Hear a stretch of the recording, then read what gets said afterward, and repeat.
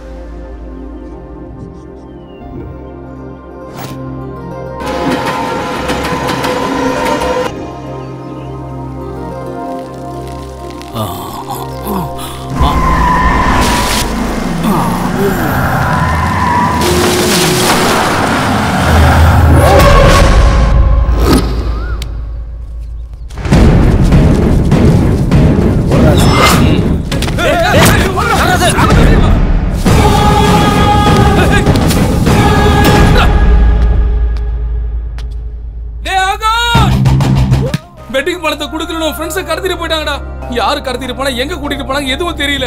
அது எனக்கு தெரியும்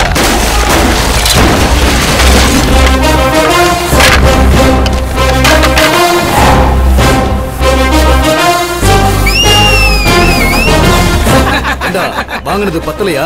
விசில் அடிக்கிறா? ஹீரோ வந்தா விசில் அடிப்பாங்கன்னு தெரியாதா? எங்க புலி வந்துருச்சுல. இனி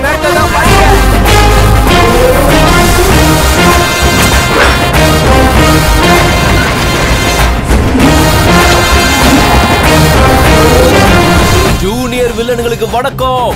ஐம் நாடி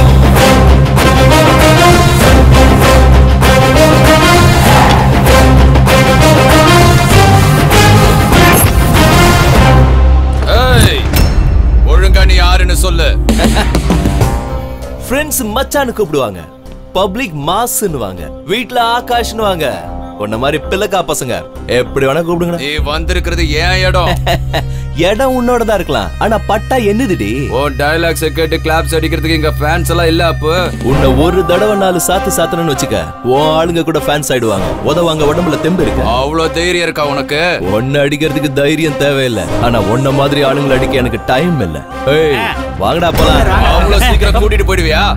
பெட்டிங் கட்டின ரெண்டு லட்சத்தை முதல்ல எடுத்து வை. அதுக்கப்புறம் அதுக்கப்புறம் இவனுங்களை கூட்டிட்டு போ. ஏ பண்ணாட உனக்கு ஒரு சர்ப்ரைஸ் நியூஸ் பெட்டு கட்டினது உண்மையிலே அவங்க இல்ல. என்ன அப்போ? மொத டைலாக்ல ஷாக் ஆயிட்ட? இந்த ஊர்ல எங்க பார்த்தாலும் கிரிக்கெட் பெட்டிங் தான். வீட்ல இருந்து திருடிட்டு வர பணம் எக்ஸாமுக்காக கட்ட வச்சிருந்த பணம் இப்படி பெத்தவங்களுக்கு நிம்மதியே இல்ல. இந்த பெட்டிங் கட்டுறது யாருன்னு கேட்டா யாருக்கும் தெரியல. அது தெரிஞ்சுக்கத்தான் இந்த கேமே நான் யாருன்னு தெரிஞ்சுக்க தானே வந்த? நான் யாருன்னு இவனுக்கு காட்டுங்கடா.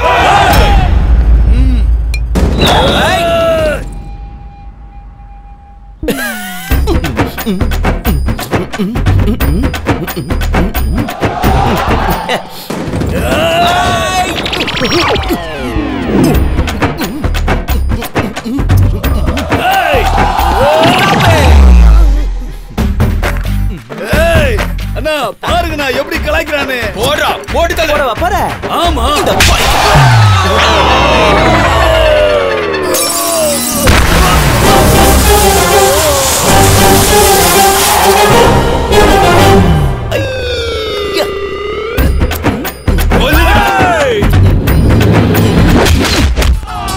Oh!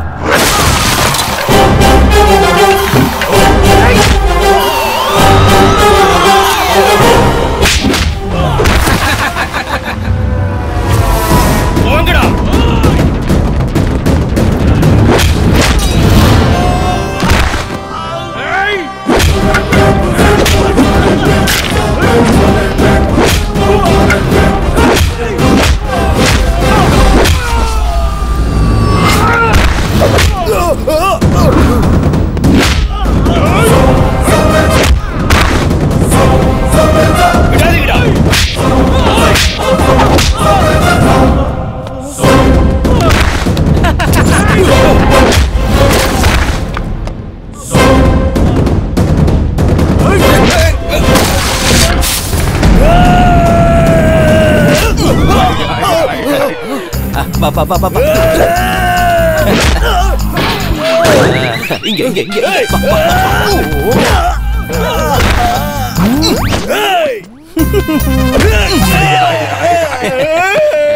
போதும் ஏன் கண்ணு? பின்ன என்னன்னா இது? எக்ஸசைஸ் பண்ற அப்புறம் அடிக்கிற இதுக்கு நடுவுல காமெடி வேற பண்ற. உன் கேரக்டரே என்னன்னு தெரியலண்ணா. சைனீஸ் பூதம் ஆக்சுவலி என் கேரக்டர் என்னன்னு எனக்கே தெரியாது. வேணும்னா உனக்கு புரியுற மாதிரி சொல்றேன். நான் கிளைமேட் மாதிரி. அப்பப்ப சில்லுன்னு இருப்பேன் அப்பப்ப வெது வெதுன்னு இருப்பேன் பல சமயத்துல புயலா என்ன கொல்ல போறியா போவோம் அவனை விட்டுரு இந்த நிமிஷத்துல இருந்து பெட்டிங்க மொத்தமா விட்டுறேன்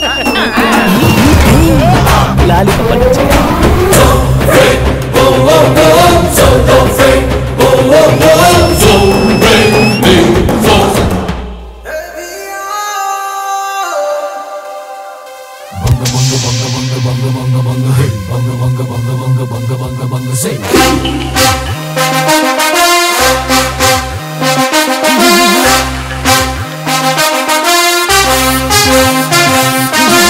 Hadi everybody aja aja. People never can my share Here comes Basu Maharaja. Mera share mera bamba share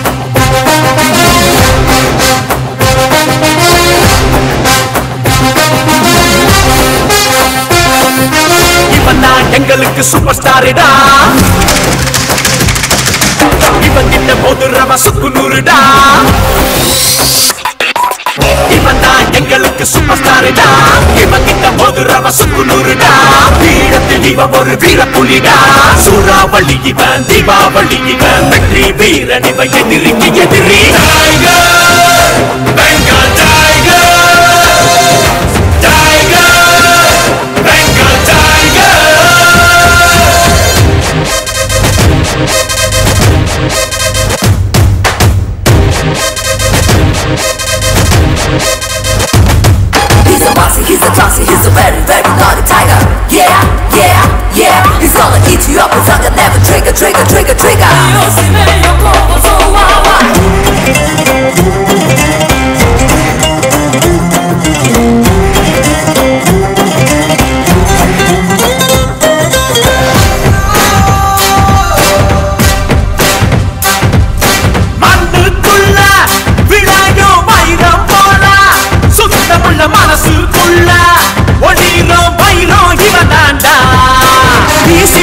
வீசிடும் கமழ்ந்திடும் பாசம் போல என்றைக்கும் நல்லவரிடத்தில் நேசமுடன் இருக்கும் வல்லவண்டா ஒரு கஷ்டம் முன்னா வருவாண்டா தன் உசுர கூட தருவாண்டா ஒரு தப்பு எங்க நடந்தாலோ அதை தட்டி கேட்க வருவாண்டா பாலும் சாமிடா தாலும் பூமிடா இவனுக்கு நிகரு எவனோ இல்லடா.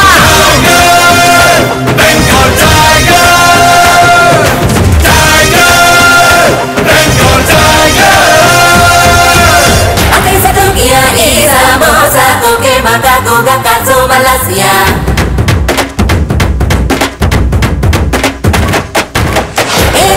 Quiero pasar, yo le te que así, pero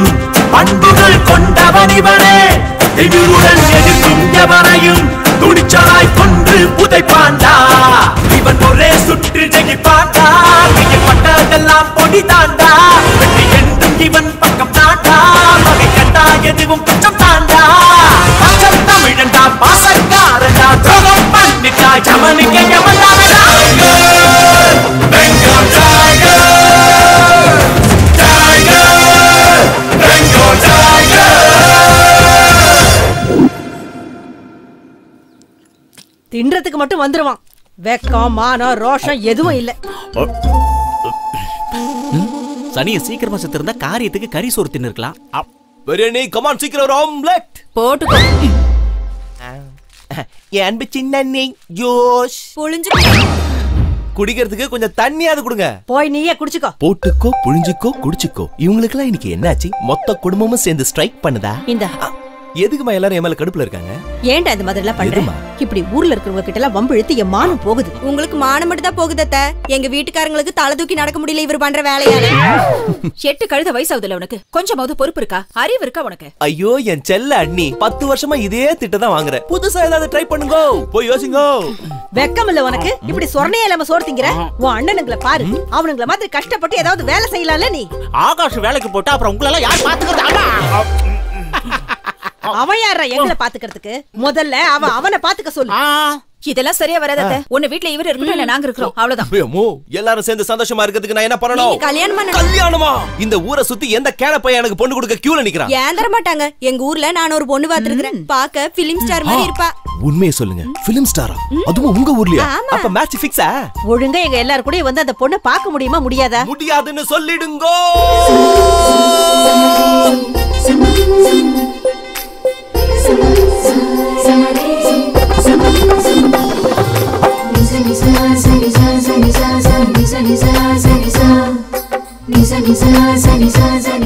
உங்க முகரைக்கு வெக்கப்படுறதுல செட் ஆகல. ஓவர் ஆக்டிங் பண்ணாம ஒழுங்கா அந்த பொண்ணு முகத்தை பாருங்க அடேங்கப்பா. குடும்ப குத்து வழக்கு மாதிரி இருக்கு. சின்ன நீங்க கொடுத்த பில்டப்புக்கு பொண்ணு உங்களை மாதிரியே மொக்கையா இருக்கும்னு நினைச்சேன். ஆனா சூப்பரா இருக்கு. பொண்ணுகிட்ட பையனுக்கு ஏதாவது பேசுனுங்களா அதெல்லாம் தேவையில்ல. எங்க மாப்பிளைக்கு பொண்ணு டபுள் ஓகே எனக்கு ஒரு நிமிஷம் பேச.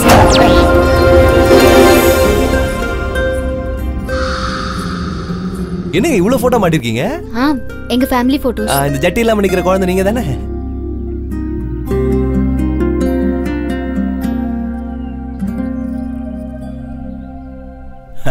இப்போ நீங்க என்கிட்ட என்ன சொல்ல போறீங்கன்னு? ஐ நோ வெரி வெல் வர வழியில அண்ணி என்கிட்ட சொல்லிட்டு இருந்தாங்க உங்களுக்கு ஏதோ ஆ நாகதோஷம் இருக்குன்னு. யூ டோன்ட் வரி நான் உங்களுக்கு லைஃப் கொடுத்தேன் ஆமா நீ யாரா எனக்கு லைஃப் தரதுக்கு எனக்கு நாகதோஷம் இல்ல. கிரியேட்டிவ் தோஷம். கிரியேட்டிவ் வாட் வாட் இல்ல இது ஆக்சுவலா பார்த்தனா சுயம்பரம் மாதிரி. உனக்கு கிடைச்சது முட்டை. முட்டையா? ஏன் ஒய் உன் போட்டோ எப்போவது பேப்பர்ல வந்திருக்கா? Paper no no no no அப்போ எப்போவது டிவிலயாவது வந்திருக்கியா? டிவி ஆக்சுவலி கல்யாணம் பண்ணிக்கணும்னா பேப்பர்லயும் டிவிலயும் வரணுமா? என்ன கட்டிக்கணுங்கிற ஆசை மனசுல இருந்தா வந்தே ஆகணும். இவ்ளோ அழகும் இவ்ளோ ஆஸ்தியும் இருக்கும்போது என்ன கல்யாணம் பண்ணிக்க போறவன்? ஃபேமஸான ஆளா இருக்கணும். செலிபிரிட்டியா இருக்கணும். ஊர்ல கேட்டு பாருங்க நான் கூட ஃபேமஸ் தான். எனக்கு தேவை. ஊர்ல ஃபேமஸ் இல்ல. உலகம் பூரா ஃபேமஸா இருக்கும்.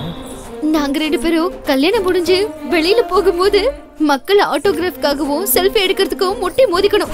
ஒய்யா அதை விட்டுட்டு மாசத்துல முப்பது ஒரு நாளும் ஏதாவது மொக்கையான வேலையை செஞ்சுக்கிட்டு ஒன்னாம் தேதியான சேலரிய வாங்கிக்கிட்டு ஜாக்கிரதையா பார்த்து பார்த்து செலவு பண்ணிக்கிட்டு மீதி இருக்கிறத பேங்க்ல சேர்த்து வச்சுக்கிட்டு அதுக்கப்புறம் பைக்ல போறது. இந்த மாதிரி விடியா மூஞ்சுங்க கூட குடும்பம் நடத்த என்னால முடியாது. ஒழுங்கா வேற பொண்ணை பாத்துக்கோ கொய்யால சொன்னாலும் உன்ன மாதிரி பிடாரிய கட்டிக்க அங்குலா! இந்த பக்கம் வா. அடிச்சு வா. இங்க நம்ம ரெண்டு பேரும் பேசினத வெளியில போய் சொன்னேன்னு வச்சுக்கோ. நாகதோஷம் இருக்கிற பொண்ண கல்யாணம் பண்ணிக்க முடியாதுன்னு சொல்லிட்டான்னு லெட்டர் எழுதி வச்சுட்டு பூச்சி மருந்து குடிச்சிட்டு தற்கொலை பண்ணிக்குவேன். பெண்களுக்கான வன்கொடுமைன்னு சொல்லி உன்னை தூக்கி உள்ள போட்டுருவாங்க.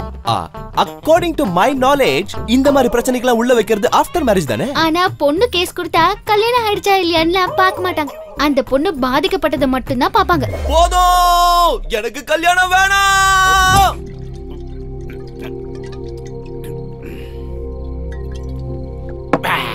வீடு போங்குது. ஊரு துரத்திருச்சு. அட்லீஸ்ட் அந்த ஃபிகராவது ஓகே பண்ணுன்னு பார்த்தா அதுவும் இல்ல. இனிமே நீ வாழணுமாடா. ஏண்டா? நீங்களாம் என் ஃப்ரெண்ட்ஸ் தானடா. அப்புறம் ஏன்டா வெந்து போன குண்டியில வேலை பாத்துறீங்க அப்பா எடுத்துக்காத மச்சி. பொண்ணு பார்க்க போன இடத்துல இப்படி ஒருத்தன் அவமானப்பட்டதை நான் கேள்விப்பட்டதே இல்ல. சாதாரண அவமானம் இல்லடா. நாராசமான ஒரு ஃபிகர் நயன்தாரா ரேஞ்சுக்கு போய் நான் ஃபேமஸா இல்லங்கிறதுக்காக ரிஜெக்ட் பண்ணிட்டா. ஆகணும். உடனே நான் ஃபேமஸ் ஆகணும்.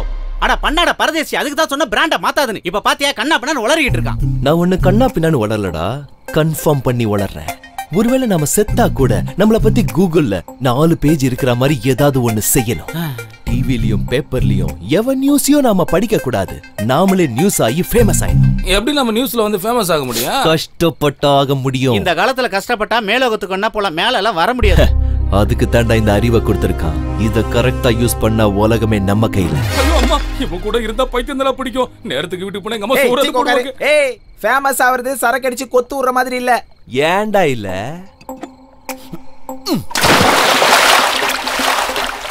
பார்த்தல அந்த சின்ன பாட்டிலே இவ்ளோ பெரிய தண்ணி அதிர வைக்க முடியும்னா ஆறடி இருக்கிற எண்ணால இந்த நாட்டையே அதிர வைக்க முடியாது? என்னது? சித்தப்பா காலங்கத்தாலே எந்திரிச்சிட்டாரா என்னது சின்னையா குளிச்சிட்டாரா? ஐயோ பூஜை பண்றாரா?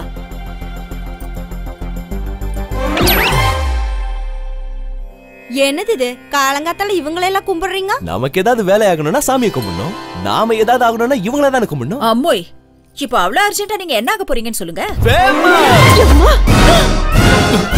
இன்னொரு இருபது வருஷம் வாழலாம்னு ஆசைப்பட்டுக்கிட்டு இருக்க. இப்படி ஷாக் கொடுத்து கொண்டுடாத நான் செலிபிரிட்டி ஆனதுக்கு அப்புறம் தான் நீ மண்டைய போடுவ. எப்படியும் மீடியாக்காரங்க ஒரு நாள் வீட்டுக்கு வரதான் போறாங்க. அப்ப அவங்க கிட்ட நீ என் பாட்டின்னு சொல்ல மாட்டேன்.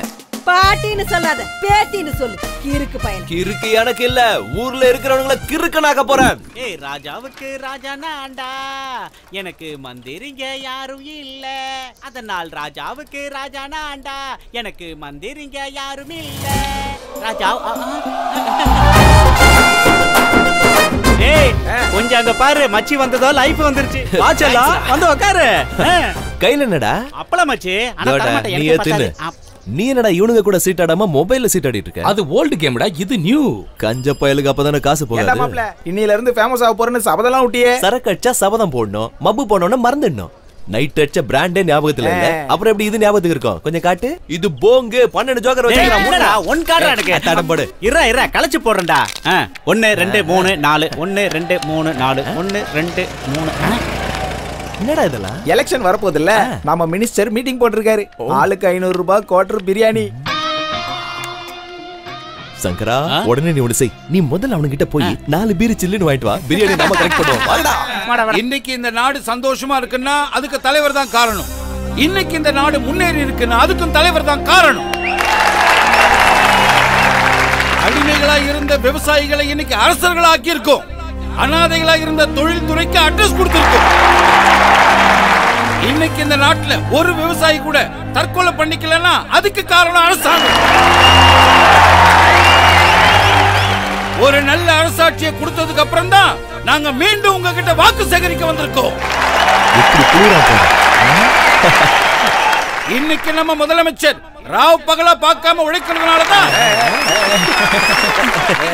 ஏய் ஏடா கிளம்புறீங்க ஏய், வேலையை பார்த்துட்டு போடே. என்னடா இவன்? கவனிச்சியா காலை மிரிக்காதடான்னு சொன்னதுக்கு வேலையை பார்த்துட்டு போன்னு சொல்றான். அவன் சொல்றது பொய்யன்னு தெரிஞ்ச மானங்கட்ட மக்கள் எப்படி கை தட்டுறாங்க பாரு. இதெல்லாம் எப்படி விட்டா பத்தாது? குனிஞ்சு ஒரு கல்? சொல்ற முதல்ல கல் அடே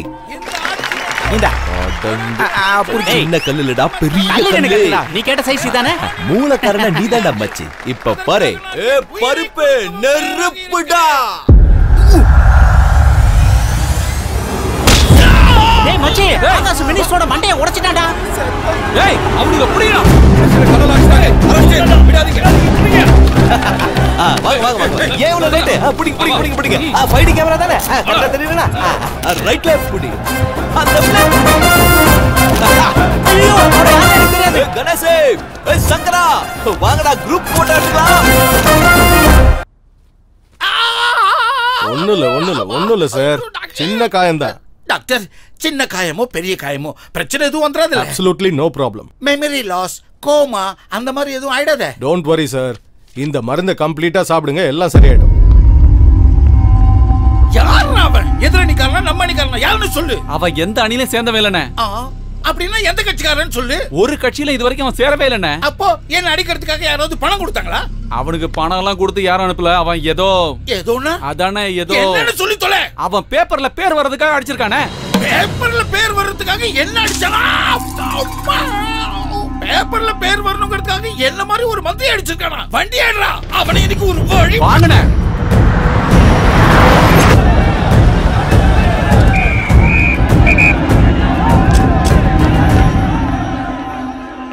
எங்கடா? எங்கடா? எங்கடா அவன்? அதோ நான் என்கவுண்டர் பண்ணதா கேஸ மாத்திக்கிறேன். நீங்க போட்டு தள்ளுங்க சார் ஹலோ அம்மாடி. உடம்புல எங்க புல்லட் பட்டாலும் தப்பிக்க வாய்ப்பு. ஆனா இங்க பட்டா கன்ஃபார்ம் சுடுங்க. சீக்கிரம் சுடுங்க. என்னடா? பயங்கிறது உனக்கு இல்லையா? என் அகராதிலேயே அந்த வார்த்தை?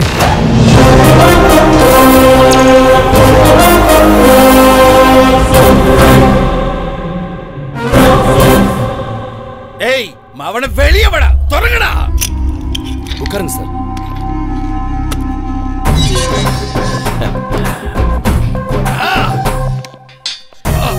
இன்ஸ்பெக்டர் செல்லம் பஞ்சு சூப்பர் விக்க மட்டும் மாத்திருக்கலாம்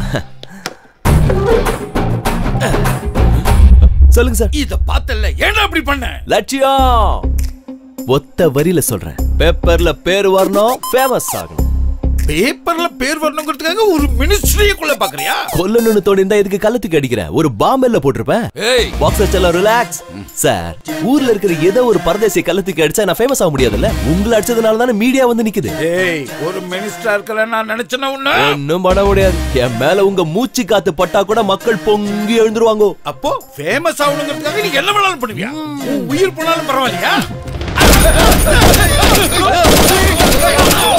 பாக்ஸர் சலம் கேட்ச் டேய், டேய், டேய், நான் கேட்ட கேள்விக்கு பதில் சொல்றேன் அதுக்கான பதில் தான் இது? உனக்கு ஃபயர் பண்ண தெரியுமா? இதுதான் ஃபர்ஸ்ட் டைம் எப்படி கரெக்டா சுட்டுன? ஃபர்ஸ்ட் டைமா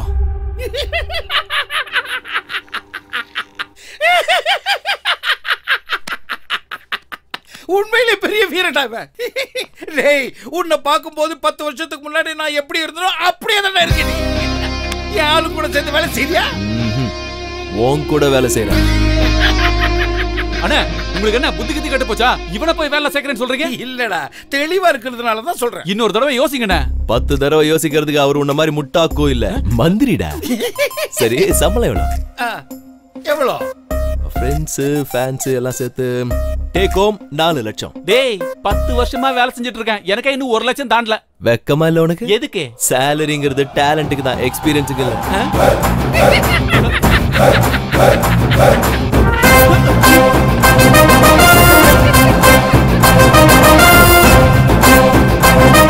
இவனை போட்டு வருவார்னு பார்த்தா கூட்டு வராரு. டேய் மாமா ஒரே கல்லுல கபாலி படத்தோட பயங்கர ஃபேமஸ் ஆயிட்டடா. பாரு. ஆகாஷ் அடிச்சா மந்திரிக்கு ஆப்பு. சூப்பர்ரா. நீங்க ஒண்ணு பண்ணுங்க. இந்த பேப்பர் கட்டிங் எடுத்து பெரிய பெரிய போஸ்டர்ஸ் அடிச்சு ஊர்ல இருக்கிற ஒரு இடம் விடாம எல்லா இடத்துலயும் ஓட்டுங்க. முக்கியமா அந்த பொண்ணு விட்டு முன்னாடி. மறந்துடாதீங்க. ஆ. வாட்ஸ்அப் ஃபேஸ்புக் இல்லாம ஃபிளைட்லயே ஒட்டிர மச்சி. சூப்பர் மச்சி. உலக ஃபேமஸ் ஆக போறேன் என்னடா இதெல்லாம்? நியூஸ்ல வரணும்னா நியூசன்ஸ் பண்ணி தானே ஆகணும். எதுக்குடா இதெல்லாம்? ஸ்டோரி இப்பதானே ஆரம்பிச்சிருக்கு. கிளைமேக்ஸ்ல எல்லாம் புரிஞ்சிடும் வாங்கடா. டேய்.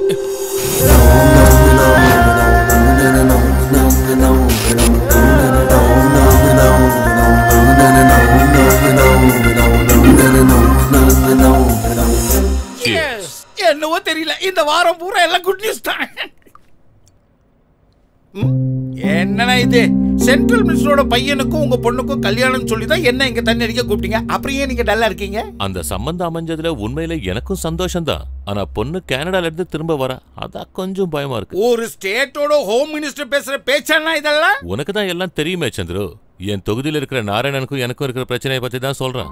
இந்த சமயத்துல அவனுங்க ஏதாவது கலாட்டா பண்ணி அந்த விஷயம் சென்ட்ரல் மினிஸ்டருக்கு தெரிஞ்சா இந்த சம்பந்தத்துல ஏதாவது பிரச்சனை வந்துருமோன்னு யோசிக்கிறேன். காவல்துறையே உங்க கையில தானே இருக்கு. மொத்த போலீஸ் படையும் அனுப்பி பாப்பாவை கூட்டிட்டு வர சொல்லுங்கண்ணே.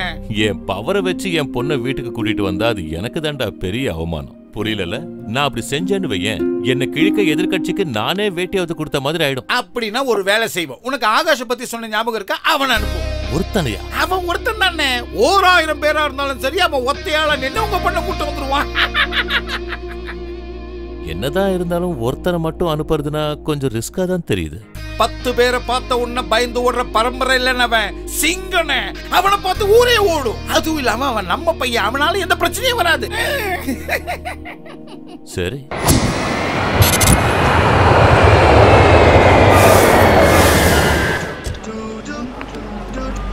சொல்றா? டேய் மாமா காலங்காத்தால எங்க கிட்ட எல்லாம் சொல்லாம நீ எங்க தாண்டா போன? ஏர்போர்ட்டுக்கு வந்திருக்கேன்டா. என்னது ஏர்போர்ட்டுக்கா எங்களெல்லாம் விட்டுட்டு நீ மட்டும் தனியா பேங்காக் போறியா? உங்களெல்லாம் விட்டுட்டு போயிடுவேனடா. நான் வந்தது உன் வருங்கால அண்ணி என் லவரை பிக்கப் பண்றதுக்காக. யார் மச்சான் அந்த பொண்ணு? நம்ம ஹோம் மினிஸ்டரோட பொண்ணுடா. ஹோம் மினிஸ்டரோட பொண்ணா? டேய் ராஜேஷ் ஹோம் மினிஸ்டரோட பொண்ணடா டேய் ஹோம் மினிஸ்டர் பொண்ணெல்லாம் வேணாம்டா என்கவுண்டர் பண்ணி கொண்டு வருவானுங்க வந்துரு. காதல் சக்சஸ் ஆகிறதுக்காக உயிர் போதுன்னா அது எனக்கு மை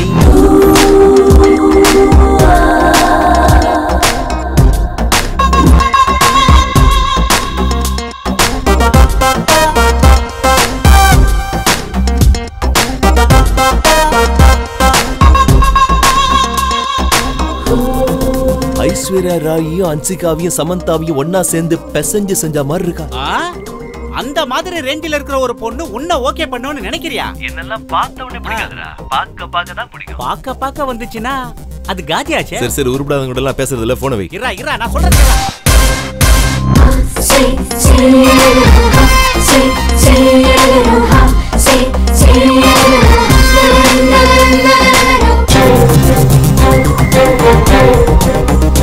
கேளா.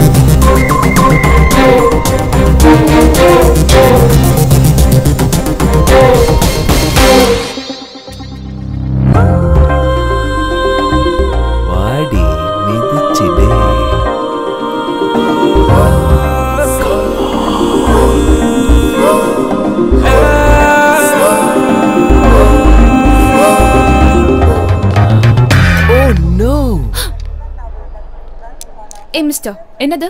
கையெடு. முதல்ல நீங்க கால் எடுங்க. அஞ்சு கிராம் இருக்கிற இந்த ரோஸை ஐம்பது கிலோ இருக்கிற இந்த ரோஸ் மிதிச்சா என்ன ஆகும்னு யோசிங்க. டயலாக் நல்லா தான் இருக்கு.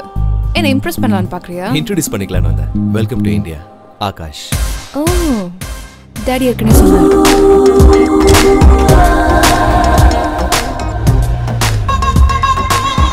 By the way I Shraddha straightforward யாருக்கும் பயப்பட மாட்டீங்க. எதுவா இருந்தாலும் ஸ்ட்ரைட் ஃபார்வர்டா சொல்லிடுவீங்க. தலை டோனியை பிடிக்கும் தலைவர் மேல பைத்தியம். அமேசிங் என்ன பத்தி நிறைய தெரிஞ்சு வச்சிருக்கீங்க. இதுக்கு காரணம் உங்க அப்பா தான்.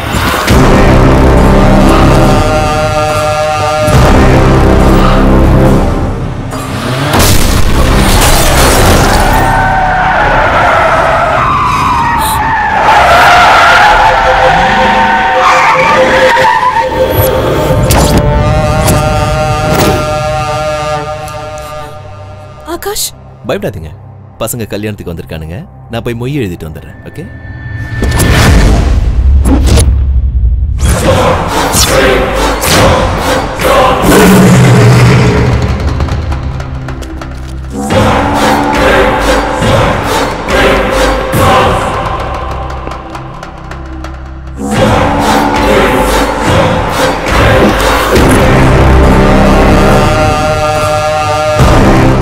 அவளை பிடிச்சி பீஸ் பீஸாக வெட்டி அவள் அப்பனுக்கு பார்சல் பண்ணுகிறேன்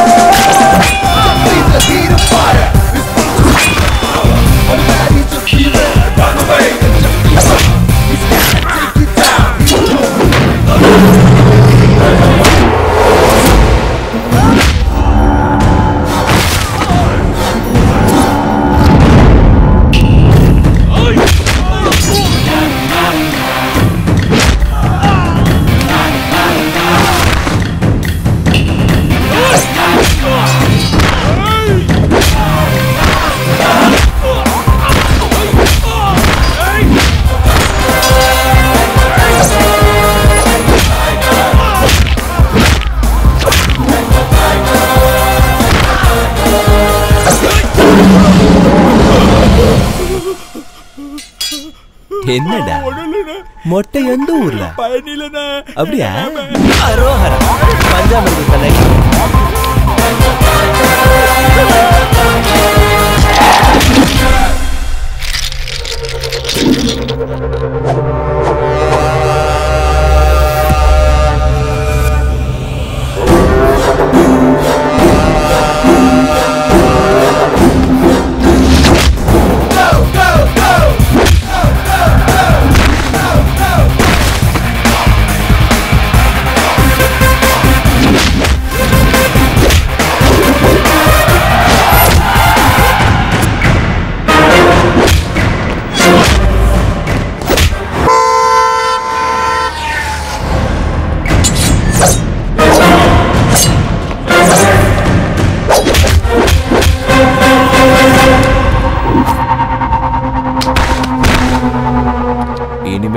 ஃபேமிலியை டச் பண்ணணும்னு நினைச்சா முதல்ல என்ன கொல்லணும்?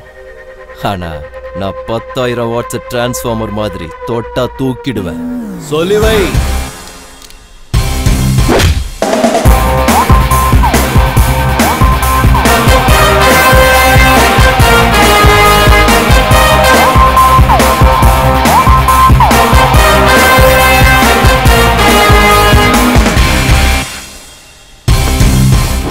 தான் நான் முதலே சொன்னேன் தனியா போவாதன்னு இப்ப என்ன ஆச்சுன்னு பார்த்தல எங்க சார் கரெக்டா தான் சொன்னாரு நான் தனியா போனதுனால தான் உங்க பொண்ணு பத்திரமா வீட்டுக்கு வந்திருக்கா அதே நீங்க நூறு பேர் அனுப்பியிருந்தீங்கன்னா அவன் காப்பாத்துவான்னு இவனும் இவன் காப்பாத்துவான்னு அவனும் கன்ஃபியூஷன்லயே கோட்டை விட்டுருப்பாங்க இந்நேரம் அவனுங்க கிட்ட உங்க பொண்ணு மாட்டிக்கிட்டு படாத பாடுபட்டிருப்பாங்க இருந்தாலும் இவ்வளவு ஜாக்கிரதையா பிளான் பண்ணியும் அவனுங்களுக்கு எப்படி தெரிஞ்சிருக்கும் நான் தான் சார் இன்ஃபார்ம் பண்ணேன்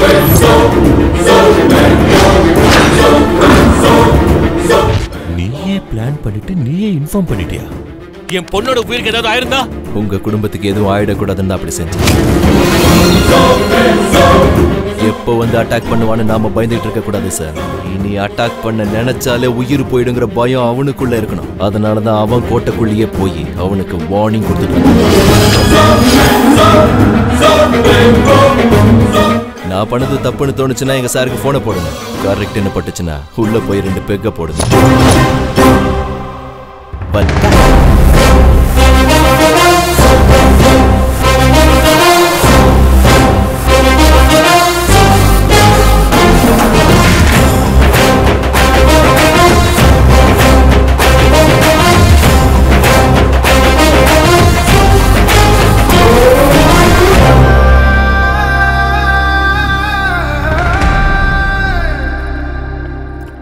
Excuse me sir CM sir லைன்ல இருக்காரு. ஆ சார் கண்டிப்பா சார் நான் டிஜிபியை கூப்பிட்டு பேசிடுறேன். அவரெல்லாம் பார்த்துப்பாரு சார் பாப்பா வந்துட்டா சார் இந்த ஞாயிற்றுக்கிழமை நம்ம வீட்டுக்கு டின்னருக்கு வந்துடுறோம் சார் சரி சார் ஹேமந்த். சார் உடனே இந்த டிஜிபிக்கு ஃபோன் பண்ணி எஸ்பி மகேஷை மாத்த சார் ஓகே சார் என்னம்மா இதெல்லாம்? வீட்டுக்கு வந்ததுக்கு அப்புறம் கூட இந்த ரொட்டி பண்ணையும் தான் சாப்பிடணுமா? இந்த பூரி பொங்கல்னு சாப்பிட வேண்டியதானே அது என்னமோ கிராஷ் ஆயிட்டான்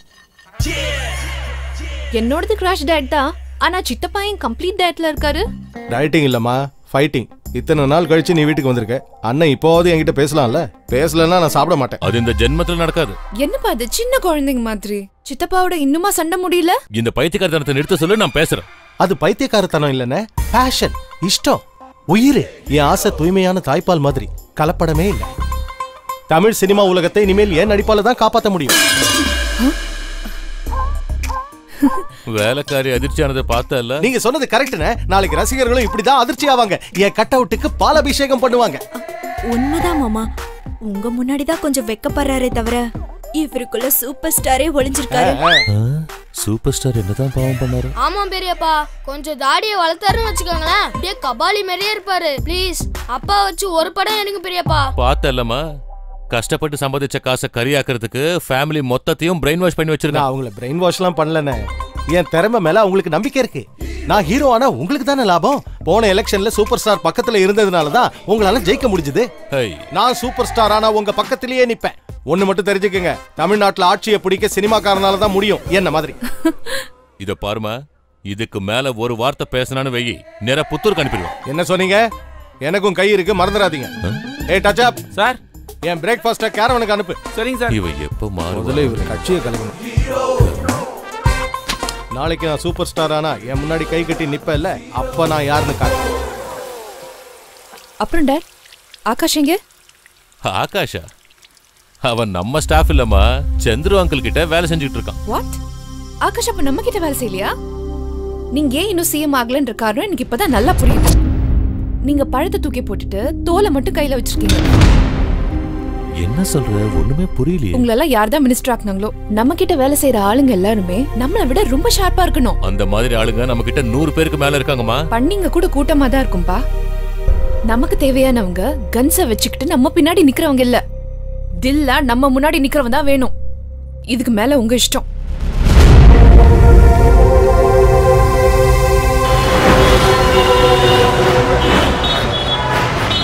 ஆமையா இப்ப என் ரூட் எல்லாம் கிளியர் ஆயிடுச்சு. அதுக்கு காரணம் நான் இல்ல. ஏன் ஆகாஷ். இப்ப அவன் என் ரைட் ஹேண்ட் மட்டும் இல்ல லெஃப்ட் ஹேண்டும் ஹலோ ஏன்பா? யாருப்பா? நான் தான்ப்பா home minister Nagappa sir sir sir sir sir good morning எங்க இருக்கேன்னு சொல்லு. சார் அசம்பிளி கூட்டிட்டு போயிட்டு இருக்கேன் ஓ அவன் இருக்கானோ? அப்போ அப்புறமா ஃபோன் பண்றேன். பரவாயில்ல சார் போன்ல பிஸியா இருக்காரு சொல்லுங்க. ஒண்ணு இல்லப்பா நீயே. என்கிட்ட வந்து வேலை செய்றியா? என்ன சார் காலங்காத்தால ஜோக் அடிக்கிறீங்க? ஜோக் இல்லப்பா. சீரியஸா தான் சொல்றேன். Sir sir. உன்னால அவங்க கிட்ட இருந்து என்கிட்ட வர முடியுமான்னு கேக்குறேன். அது என் சார் எனக்கு இங்க மாசம் எட்டு லட்ச ரூபாய் சம்பளம் கொடுக்குறாரு. நான் அதுக்கு டபுள் தரேன். எப்போ வந்து ஜாயின் பண்ணேன்னு சொல்லுங்க சார். இப்போ வந்தா கூட okay on the way sir.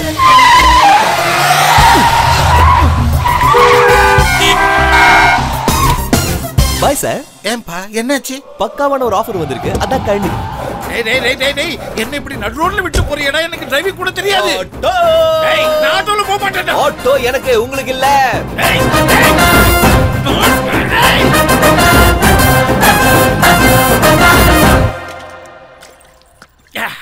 அந்த புறம்போக்கு என்ன நடு ரோட்ல விட்டு போயிட்டான்டா. ப்ரொமோஷன் கிடைச்சோன்னா விட்டு போயிட்டான் ப்ரமோஷனுக்காக என்ன மாதிரி ஒரு மினிஸ்டர் நடு ரோட்ல விட்டு போயிடுவானா? என் உப்பத்தின இருக்காண்டா அவனுக்கு என்ன நீதி தர்மம் நியாயம் எல்லாம் தெரியாம போச்சு? அத பத்தி எல்லாம் நீங்க பேசும்போது செம காமெடியா இருக்குண்ணே. அப்புறம் என்னண்ணே? கூட்டத்துல இருந்து கல்ல தூக்கி எறிஞ்சு உங்க மண்டையை உடைச்சவன உங்க தலைமையில தூக்கி வச்சுட்டீங்க. போதா குறைக்கு அவனை பார்த்தா என்ன சின்ன வயசுல பார்த்த மாதிரியா இருக்குன்னு சொன்னீங்க. அதுக்கு தான் சேர்த்து வச்சு செஞ்சுட்டு போயிட்டான். விட மாட்டேன்டா ஹோம் மினிஸ்டர் மேட்டர் எல்லாம் சிஎம் கிட்ட சொல்லி அவனுக்கு நான் அடிக்கிறேன்டா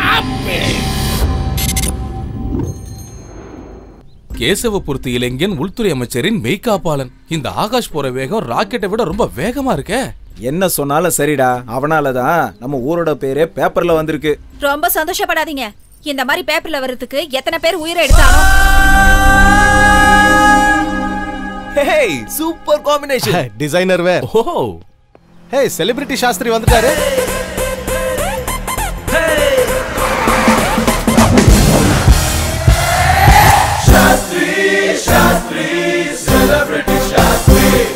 யார் இந்த காமெடி கேரக்டர் பேரு செலிபிரிட்டி சாஸ்திரி. பயங்கர ஃபேமஸான ஆளு. சிஎம்முக்கும் எங்களுக்கும் ஃபேமிலி டாக்டர் மாதிரி ஃபேமிலி ஜோசியர்.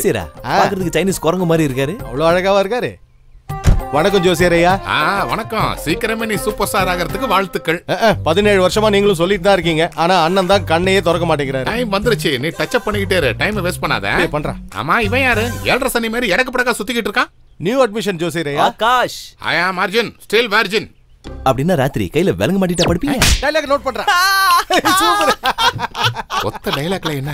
மொத்தமா மொக்கையாக்கி தொலைச்சிட்டானே? என்ன தனியா புலம்புறீங்க? தம்பியோட ஜாதகம் என்னன்னு மனக்கணக்கு போட்டுக்கிட்டு ஆ, இருக்கேன். வாங்கின மொக்கைய சமாளிக்கிறாரு. ஆ, தெரியுது தெரியுது. என்ன ஜோசியரே? வணக்கம் அமைச்சர் ஐயா. வணக்கம். பையன் வீட்ல இருந்து கிளம்பிட்டாங்களா? ஆ கிளம்பிட்டாங்க. உங்களுக்கே தெரியும்ல. நான் கடிகாரத்தை பார்க்க மாட்டேன். கிரகங்களை தான் நம்புவேன் ராகு காலத்துக்கு முன்னாடி விழுப்புரத்தை தாண்டி வீட்டுக்கு வந்துரும்னு சொல்லியிருக்கேன். அவருக்கு வேற வேலையே இல்ல. இவர் முகூர்த்தம் பார்க்கலன்னா அவர் மூத்திரம் கூட போக மாட்டாரு. அது உண்மைதான். நாத்திக்கு பேசி கடைசியில ஏன் பொழப்புல மண்ணு வாரி போட்டுறாதீங்க. பொழைச்சு போ. என்னம்மா இது? இந்த ஜோக்கர் வேஷம் போட்டா வர்றவங்க என்ன நினைப்பாங்க? அண்ணா ஆடியன்ஸ் முன்னாடி அவமானப்படுத்தாதீங்க. என்னத்த அவமானப்படுத்த வேண்டியிருக்கு? உன் ட்ரெஸ்ஸும் உன் மூஞ்சியும். அண்ணா கண்ட்ரோல்ண்ணே என்னடா கண்ட்ரோல் பண்ண சொல்ற? இன்னொரு தடவை நடிப்பு கிடிப்பு ஏதாவது பேசுனா கழுத்தை பிடிச்சு வெளியே தள்ளி விட்டு நடந்து முடிஞ்ச எலெக்ஷன்ல நாலு ஓட்ல ஜெயிச்சங்கிற திமிரா உனக்கு? பதவி பிரமாணத்தை கூட பார்த்தே தப்பா படிச்ச பரதேசிடா நீ ஆக்டிங்க பத்தி உனக்கு என்னடா தெரியும்? என்ன இப்படி எல்லாம் பேசுறீங்க? அவர் உங்க அண்ணன். வாய மூடு. பேச வந்துட்ட ஆடி டிஸ்டர்ப் பண்ணாத. ஏழரை சனி பிடிச்ச மாதிரி ஏங்க இப்படி இடக்கு முடக்க பேசுறீங்க? ஜோசியோங்கிற பேர்ல மக்களை ஏமாத்திக்கிட்டு தெரியற? உனக்கு ஆக்டிங் பத்தி தெரியுமா? இது ஆக்டிங்கா அந்த ஆக்டிங்ல தானடா இத்தனை வருஷமா என் பொழப்பே ஓடிக்கிட்டு இருக்கு? என்னங்க இதெல்லாம்? உங்களுக்கு என்ன பைத்தியமா பிடிச்சிருக்கு? பைத்தியம் தாண்டி பிடிச்சிருக்கு. ஆனா நீ போய் சேர்ந்துட்டா அது போயிடும்.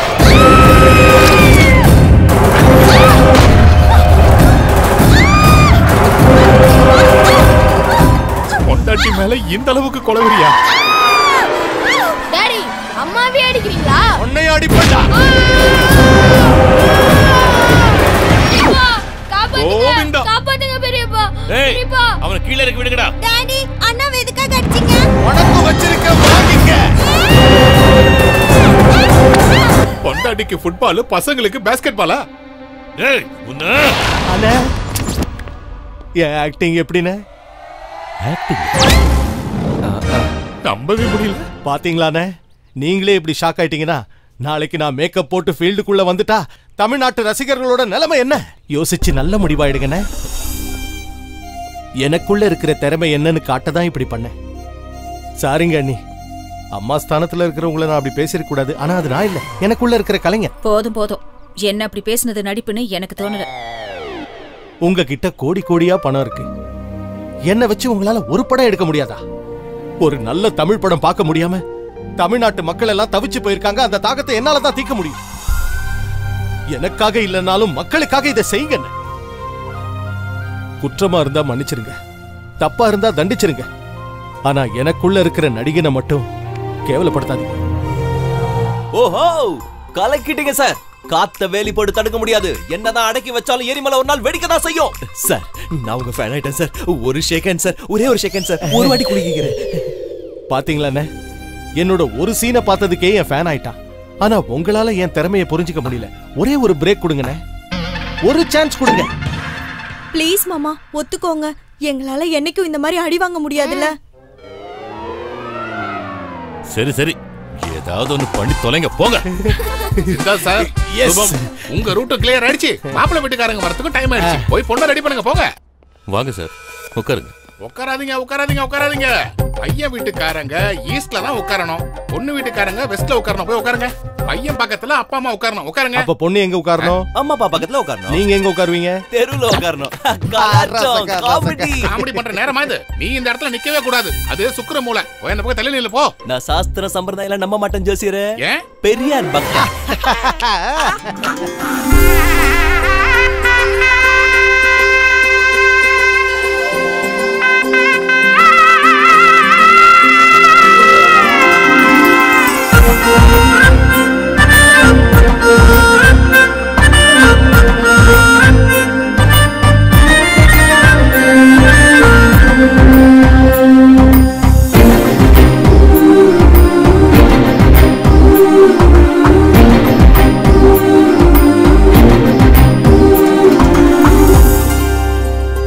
அப்படியே பௌர்ணமி நிலா மாதிரி இருக்கா உங்க பொண்ணு?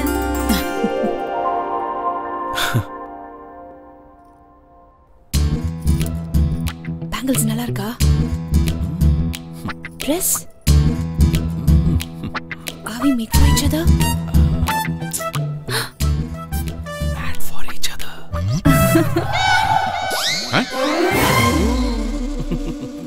பின்னாடி நின்னுக்கிட்டு யாருக்கு தனியா விட்ட போடுற சுபம் அமோகம் பொண்ணோட பார்வை பையன் கிட்ட இருந்து மாறவே மாட்டேங்குது.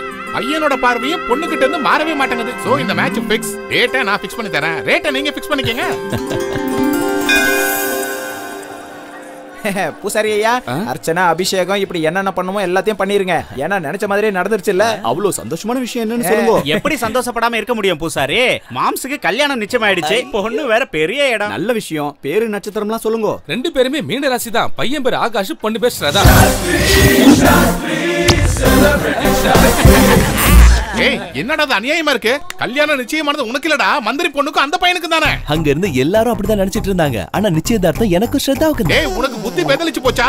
எதுக்குடா வாய்க்கு வந்தபடி எல்லாம் உளற இங்க பாருங்க ஜோசியர. ஏன் இப்படி இருக்கீங்க? பெருசா கிரகணம் சொன்னீங்க நட்சத்திரம் சொன்னீங்க. எங்க போச்சு உங்க சக்தி எல்லாம்? அந்த பொண்ணு பாக்குற சடங்குல 45 நிமிஷமா அந்த பொண்ணு என்னையே தான் பாத்துக்கிட்டு இருந்தா. அப்ப அந்த நிச்சயம் யாருக்கு நடந்தது? உனக்கு தான் அதே தானே நானும் சொல்லிட்டு இருக்கேன். இவன் ஜோசியரா இல்ல ஜோக்கரா? லூஸ் மாதிரி பேசிட்டு இருப்பான். அடே துஷ்டா. சோறு போட்ட இடத்துல சூனிய வைக்க பாக்குறியா? நாம நல்லா இருக்கிறதுக்காக நாலு பேரை அழிக்கலான்னு நாயகன் படத்துல கமல் சார் சொல்லிருக்காரு ஏய் நான் உயிரோட இருக்கிற வரைக்கும் அது நடக்காதுடா. அவங்களுக்கு ஜாதகம் எழுதுனது நானு முகூர்த்த குறிச்சு கொடுத்தது நானு ஆனா கல்யாணம் பண்ணிக்க போறது நான். அது நிச்சயமா நடக்காது. நான் ஒரு தடவை முகூர்த்தத்தை குறிச்சு கொடுத்துட்டேனா முக்கோடி தேவர்களாலையும் அதை மாத்த முடியாது. உங்க நம்பிக்கை உங்களுது ஏன் நம்பிக்கை என்னது? எதுக்கு மாமா இவங்கிட்ட எல்லாத்தையும் சொல்லிட்டு இருக்க? இவன் போய் அந்த மினிஸ்டர் கிட்ட அப்படியே பத்த என்னையா போட்டு கொடுப்பியா? ஏய் நான் கம்ப்ளைண்ட் கொடுத்து காரியம் சாதிக்கிறவன் இல்லடா. என் பவரை பத்தி எனக்கு நல்லா தெரியும். நான் சொன்னதை தவிர வேற எதுவுமே இங்க நடக்காது. எப்படி இருந்தாலும் நான் சொன்னதுதான் நடக்க போது எங்க கல்யாணத்துக்கு நீங்க தான் முகூர்த்தம் ஃபிக்ஸ் பண்ணி தரணும். ஓகேவா வாங்கடே அடக்கிருக்கு பயமாவனே. என்கிட்ட எல்லாம் உளறிட்டல. அங்க எங்க பத்த வச்சா எங்க வெடிக்கும்னு எனக்கு மட்டும் தானே நல்லா தெரியும். என்னையா கதை இது? எல்லா கதையிலயும் ஹீரோ அனாதையா? 50 வருஷமா இதை தவிர வேற எதுவுமே இல்லையா? மாறுங்கயா மாத்த முயற்சி பண்ணுங்க. தமிழ் சினிமாவோட ரேஞ்சு இன்னைக்கு உலகத்துல எங்கேயோ போயிடுச்சு. கண்டிப்பா சார் நான் ட்ரை பண்றேன். இங்கேயே வச்சுட்டு போ. என் பசங்க காத்தாடியாவது விடுவாங்க. ஏவிஎம் எதிரில் நின்னு எட்டு முழத்துக்கு கதை பேசுவானுங்க. ஹலோ ஃபியூச்சர் ஸ்டார் என்ன? என்னது கதையா? ஆமா பெரிய புண்ணாக்கு கதை. ஒரு கதை கூட எதுக்கும் உதவல. கிரீன் பார்க் ஹோட்டல்ல ரூம் போட்டு கொடுத்து கூட ஏன் இமேஜுக்கு கதை சொல்ல மாட்டேங்கிறானுங்க? எதுக்குங்க வெளியில போய் கதையை தேடுறீங்க? கப்பலோட்டிய தமிழன் காமராஜர் இந்த மாதிரி ரியல் ஸ்டோரியை செலக்ட் பண்ணிக்க வேண்டியது ரியல் ஸ்டோரிய சொன்னா கொடியை தூக்கிட்டு வந்துருவானுங்களே? அப்ப அப்சர்வ் பண்ணுங்க சார் மனுஷங்களை நடக்கிற சம்பவங்களை. அப்பதான் உங்க ஓப்பனிங் அதிரும்.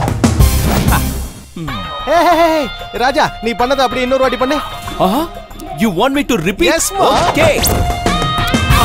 okay brother எங்கேயோ போய் நான் ஏன் ஸ்டோரியை தேடணும்? உன் ஸ்டோரியே என் முதல் படத்தோட ஸ்டோரி ஆக்கிறேன் ஏன் ஸ்டோரிலாம் வேணாம் சார் போர் அதுல ஹீரோயிசம் இருக்கு. எங்கேயோ குக்கிராமத்துல இருந்து வந்து இங்க கும்மி அடிக்கிறீங்க. உன் பலம் உனக்கு தெரியல. உன் எனர்ஜிக்கு முன்னாடி ரெட் புல் கூட நிக்க முடியாது. நீங்க காமெடியா சொன்னா கூட நல்லா தான் சார் இருக்கு. ஆசம் ஆசம்னா என்னடா? ஆசம்னா ஆசம் தாங்க இந்த கிரகத்துக்கு தெரியல. இங்க பாருங்க ப்ரோ என்னதான் உன் கதை நல்லா இருந்தாலும் அதுல ஒரு சின்ன ஓட்டை இருக்கு. ஹீரோயிசம் சூப்பரா இருக்கு. ஆனா ரொமான்ஸ் இல்லையே? காதல் இல்லாத கர்மத்தை எவன் பாப்பா சொல்லு? கரெக்ட் காதலை ஏத்துறோம். அட்லி கிட்டயும் சங்கர் கிட்டயும் லவ் சாங்க கேட்டு பாப்போம். கொடுப்பாங்க. அமைச்சரோட தம்பி கேட்டா கொடுக்காம விட்டுருவாங்களா? அது. மம்மி தண்ணி வரல. சூப்பர் ஐடியா இங்க வா. உன் கதைக்கு லவ் மேட்டரை நான் தரேன். எங்க வீட்டு ஸ்ரத்தாக்கு தான் கல்யாணம் ஆகல அவளை நீ லவ் பண்ணு. யோ நீலா ஒரு மனுஷனா? என்ன பேசுற நீ? இங்க பாரு செல்லம். இங்க வா. வா ப்ரோ நீ உண்ட வீட்டுக்கு ரெண்டகம் பண்ண மாட்டேன்னு எனக்கு நல்லா தெரியும் ப்ரோ ஆனா கதைக்காக கொஞ்சம் யோசிச்சு பாரு. ஆட்டங்கொப்புறானுங்கொப்பா மொத படத்துக்கே நீங்க எப்படி ஐடியா குடுக்குறீங்கன்னா ஃபியூச்சர்ல கன்ஃபார்மா நீங்க சூப்பர் ஸ்டார் தான். சித்தார்த் கான்! கொழுந்தனாரே அந்த மோட்டாருக்கு என்னாச்சுன்னு கொஞ்சம் பாருங்க. ஒரு சூப்பர் ஸ்டார் மோட்டர் பார்க்கணுமா? ஆ சொல்றேன் நீ. நம்ம கதைக்கு நல்ல லவ் சீன் கிடைச்சிருச்சு. புரோட்டீன் ஷேக் கரண் ஷாக் கிளம்பு. செல்லம் ஒரு நிமிஷம். கம் பேக் சார் எங்க போறீங்க? மோட்டார் ரெடி பண்ணதா? போடாங்க கொய்யா. இத கொஞ்சம் யூஸ் பண்ணுமா? மேல பொண்ணு இருக்கா? கீழே மோட்டார் ரிப்பேர் ஐயோ தேவன் சார் நீங்க. எந்த சினிமால இப்படி பார்த்ததே இல்லையே. தண்ணி எடுத்துட்டு பக்கெட்டோட மேல போறேன். திரும்பி வரும்போது பக்கெட் ஃபுல்லா லவ் சீனோட வரேன். எப்படி அப்புறம் ஒரு முக்கியமான விஷயம். மேல இருக்கிறது என் பொண்ணுங்கிறத மறந்துடாத. நீ அப்படி எல்லாம் பண்ண மாட்டேன்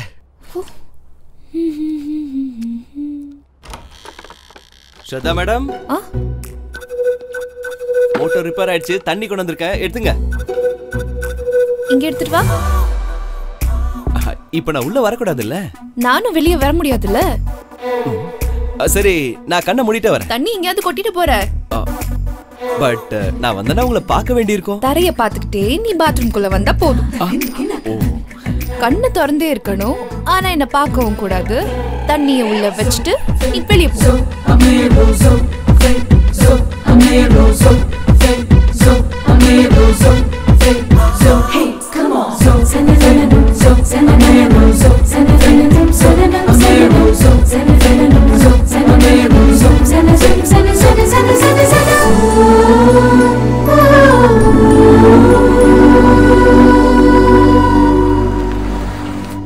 Siddharth sir good morning ah morning morning என்ன இவ்வளோ லேட்டாக வரீங்க? எங்கேஜ் நீங்க பூஜையில வச்சு எடுத்துட்டு வரணும்ல? எல்லாரும் உங்களுக்கு தான் வெயிட்டிங் இன்னைக்கு ரொம்ப கலர்ஃபுல்லா இருக்கீங்களே. என்ன விஷயம்? ஒரு நல்ல கதை ஓகே இருக்கு. அதான். நல்ல கதையா? என்னது ரியல் ஸ்டோரி ரியல் ஸ்டோரியா யா. அப்படின்னா அது ஔவையாரு கந்தன் கருணை திருவிளையாடல் இந்த மாதிரி சாமி படமா? போக்கிரி பில்லா அஞ்சான் இந்த மாதிரி த்ரில்லர் கதை தான். அப்பப்பப்பப்பப்பா அப்படி யாருங்க உங்க மனச நக்கின நாயகன்? வேற யாரு? நம்ம ஆகாஷ் தான். அம்மாடியோ அவனா? யா. என்ன ஸ்டோரின்னு சொல்லுங்க? ஆக்சுவலா ஸ்டோரி என்னன்னா இந்த வீட்ல நீங்க ஒரு கல்யாணத்தை ஃபிக்ஸ் பண்ணிருக்கீங்க. ஆமா. இந்த வீட்டுக்கு வேலை செய்ய ஒருத்தன் வரான். ஆமா. எல்லாரும் அவனை பாடி கார்டுன்னு தான் நினைக்கிறாங்க. ஆமா. ஆனா அவன் இங்க வந்ததே அந்த பொண்ணை கரெக்ட் பண்ணதான். என்னது இது ஸ்டோரியா கேட்டதும் அதிர்ச்சி ஆயிட்டீங்கல்ல? ரியல் ஸ்டோரி ஐயோ இது ரியல் ஸ்டோரி தாங்க. நானும் இவ்வளவு நேரம் அதைத்தானே சொல்லிட்டு இருக்கேன். நீங்க சாதாரணமான ஆள் இல்ல தெய்வமே. ட்ரெயின்ல ஓட்டைய போட்டு ஆட்டைய போட்டவன கூட பாத்துட்டேன் ஒத்தையா வீட்டுக்குள்ள வந்து மொத்தமா அல்வா கொடுத்தவனு இப்பதான் பாக்குறேன் இந்த டயலாக் ரொம்ப நல்லா இருக்கு. நான் படத்துல வச்சுக்கிறேன் இவனுக்கெல்லாம் ஆயிரம் ஆப்பு வச்சாலும் ஐஸ் வச்ச மாதிரி தான் இருக்கும் அது எடுத்த கலர் பாரு நினைக்கிறேன். இது சன்ஸ்ல கொஞ்சம் வேற மாதிரி இருந்தா நல்லா இருக்கும் ஆ அதை எடுங்க. அதுதான். லுக்கிங் கண்ணா. என்ன சொல்லுங்க ஜோசியரே? இங்க என்ன பண்ற? சாரிக்குள்ள சார பாம்பு விட போறியா? என் வருங்கால மனைவிக்கு இங்க சாரி செலக்ஷன் நடக்குதுல்ல? இங்க நான் உண்மையை சொல்லிட்டேனா? உன்னை நான் கொலை பண்ணிடுவேன். ஜோசியரையா? ஆஹா அதான் வந்துகிட்டு இருக்கமா ரிங் ரெடி ஆயிடுச்சா? பூஜை முடிஞ்சு ரெடியா இருக்கு. நிச்சயதார்த்த சேலையை நீங்க தான் செலக்ட் பண்ணி கொடுக்கணும். செலக்ட் பண்ணிட்டா போச்சே. Kala Mandir simple of south புதன்கிழமை அருமையான நாள். ப்ளூவா தானே செலக்ட் பண்ணணும்? அட ச்சே! இந்த மாதிரி கலரையா போடுறது? ஆப்போசிட் கலர் தானே போடணும். சும்மாதான் சீனு. ம். ஏய் குசும்பு. கந்தம் கிரிகிரி கந்தம் தாரா தந்தம் உன் பேர் தங்கம் தங்கம்.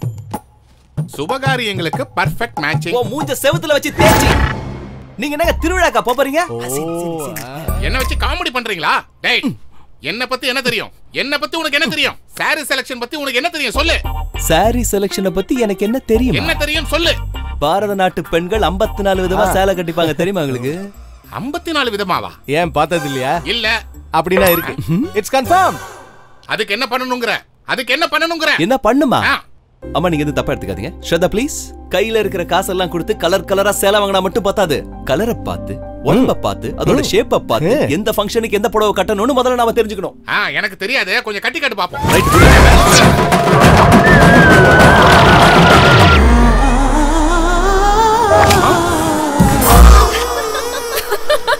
என்னடா இது? நீங்க தானே சார் கட்டி காட்ட சொன்னீங்க? ஆனா நான் அவுத்து கட்ட சொல்லலையே. என்னோட இந்த பர்சனாலிட்டிக்கு சேலை கட்டணும் வச்சுக்க அதிர்ச்சியில அவங்க உறைஞ்சிருவாங்க. அப்ப உங்களை வச்சு ட்ரை பண்ணலாமா? ஆர் யூ கிரேசி சாரி லேடிஸ்க்கு தான் கட்டணும். அப்படின்னா ஸ்ரத்தாக்கு கட்டி விடு. ஸ்ரத்தாவுக்கா? இதுல என்ன அண்ணி இருக்கு? கலாமந்திர்ல ஆம்பளைங்க பொம்பளைங்களுக்கு கட்டி விடுறதுல அந்த மாதிரி தான் இதுவும். இந்த காலத்துல இதெல்லாம் ஒரு விஷயமா? நம்ம படத்துல இந்த சீனை வைக்கணும் நீ சித்தப்பாவா மாமாவா? அத முதல்ல கிளியர் பண்ண. Karan with your permission take it easy boss carry on so my dear lovely ladies change the position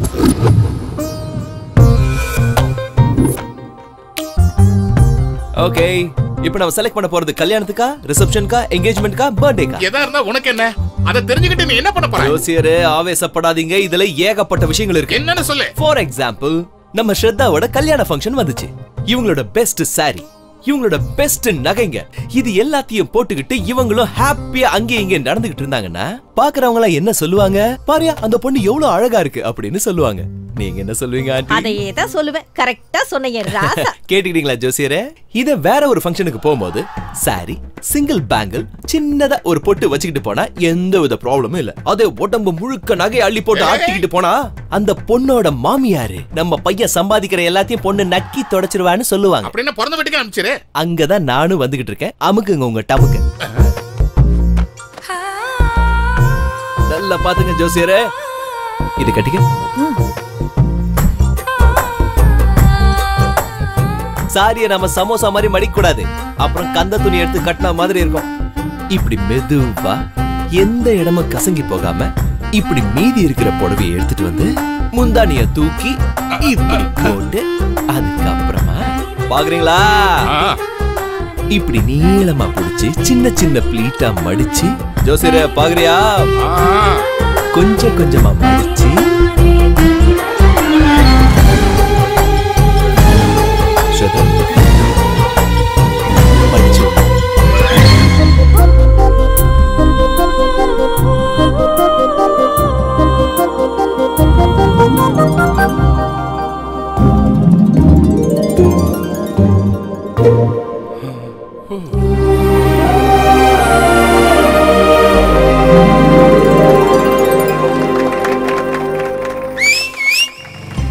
கட்டிக்க போற பொண்ணு தள்ளிக்கிட்டு போக போறான் அது தெரியாம விசில் அடிக்கிறான் பாரு சீனு கலக்கல் எக்ஸ்ட்ராடினரி நீங்க தானே குரு உண்மையாவா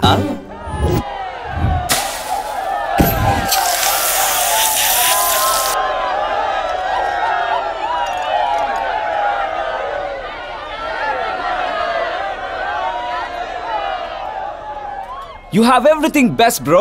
Best car, branded clothes, and a beautiful fiance. Thank you.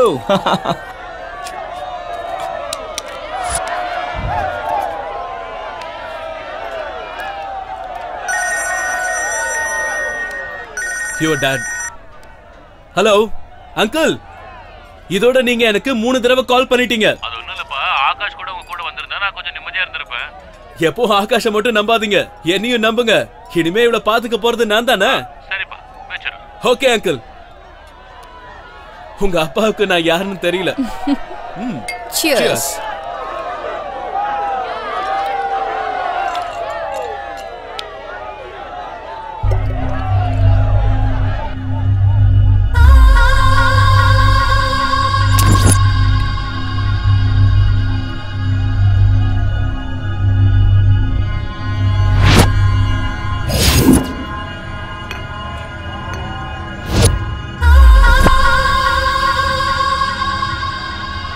அழகு என்ன டபுள் கிக் ஆக்குதுடா Let me check. Karan, I'll just come. Okay.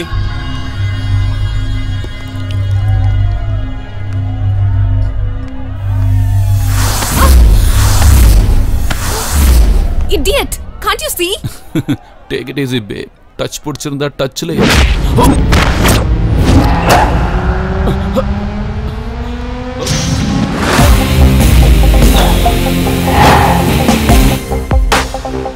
இந்த டச் பிடிச்சிருந்தா இனிமே யாரையும் டச் பண்ண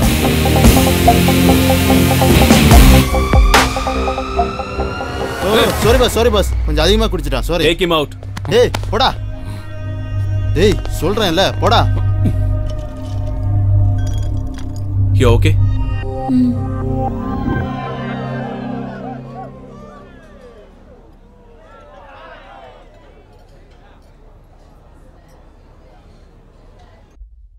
Oh my god, it's four in the morning. Come on.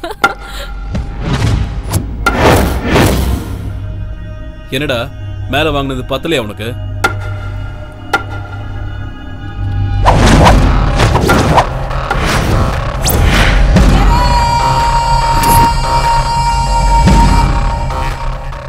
டேய் ஒரு பொண்ணு முன்னாடி சீன் போடுறதுக்கு இவனை அடிச்சிட்டல இப்ப நாங்க நூறு பேர் இருக்கோம் முடிஞ்ச எங்க முன்னாடி இவன் மேல கை வைடா பார்க்கலாம்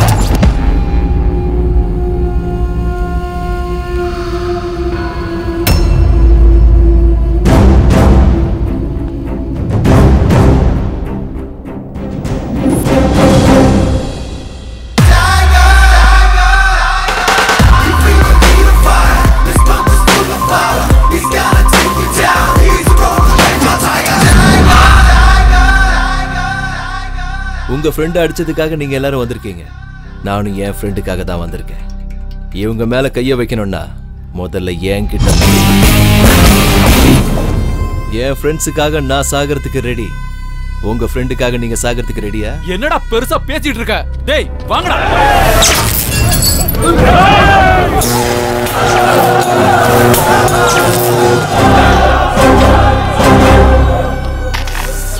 டேய் இப்ப நீ மோதுறது காலேஜ் பசங்க கிட்ட இன்னைக்கு இல்லனா நாளைக்கு மாட்டுவ. நாளைக்கு என்னடா மாத்தி வைக்கிற? எல்லாரும் பெரிய ஹீரோ மாதிரி வந்தீங்க வாங்கடா பாப்போம்.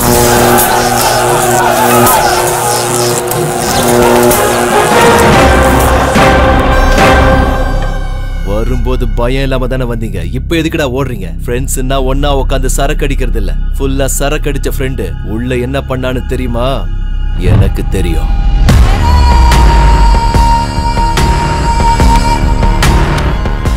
டச் நல்லா இருந்தா டச்ல என் வீட்ல இருக்கிற பொண்ணுங்களை யாரு என்ன செஞ்சாலும் அப்படி செய்யறவங்கள நான் எதுவுமே செய்ய மாட்டேன். சைலண்டா போயிடுவேன்னு நினைக்கிறவங்க எவனா இருந்தாலும் முன்னாடி வாங்க.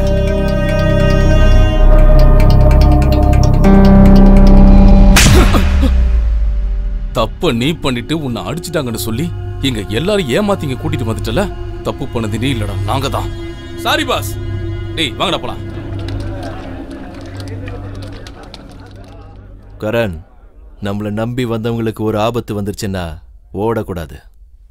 காப்பாத்தணும்.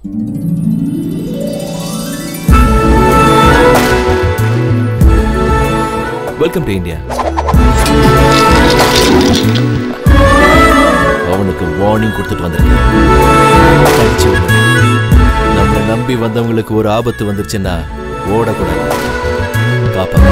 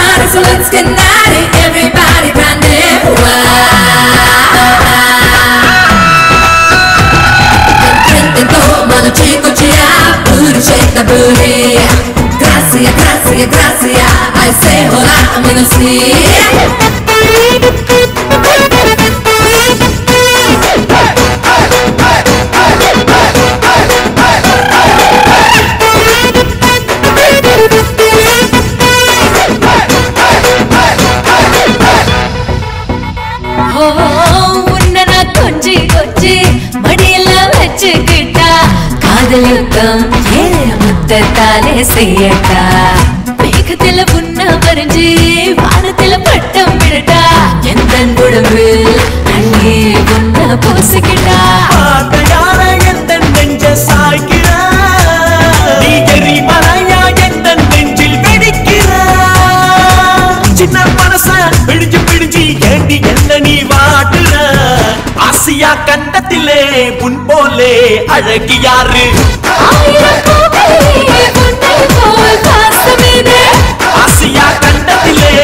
போலே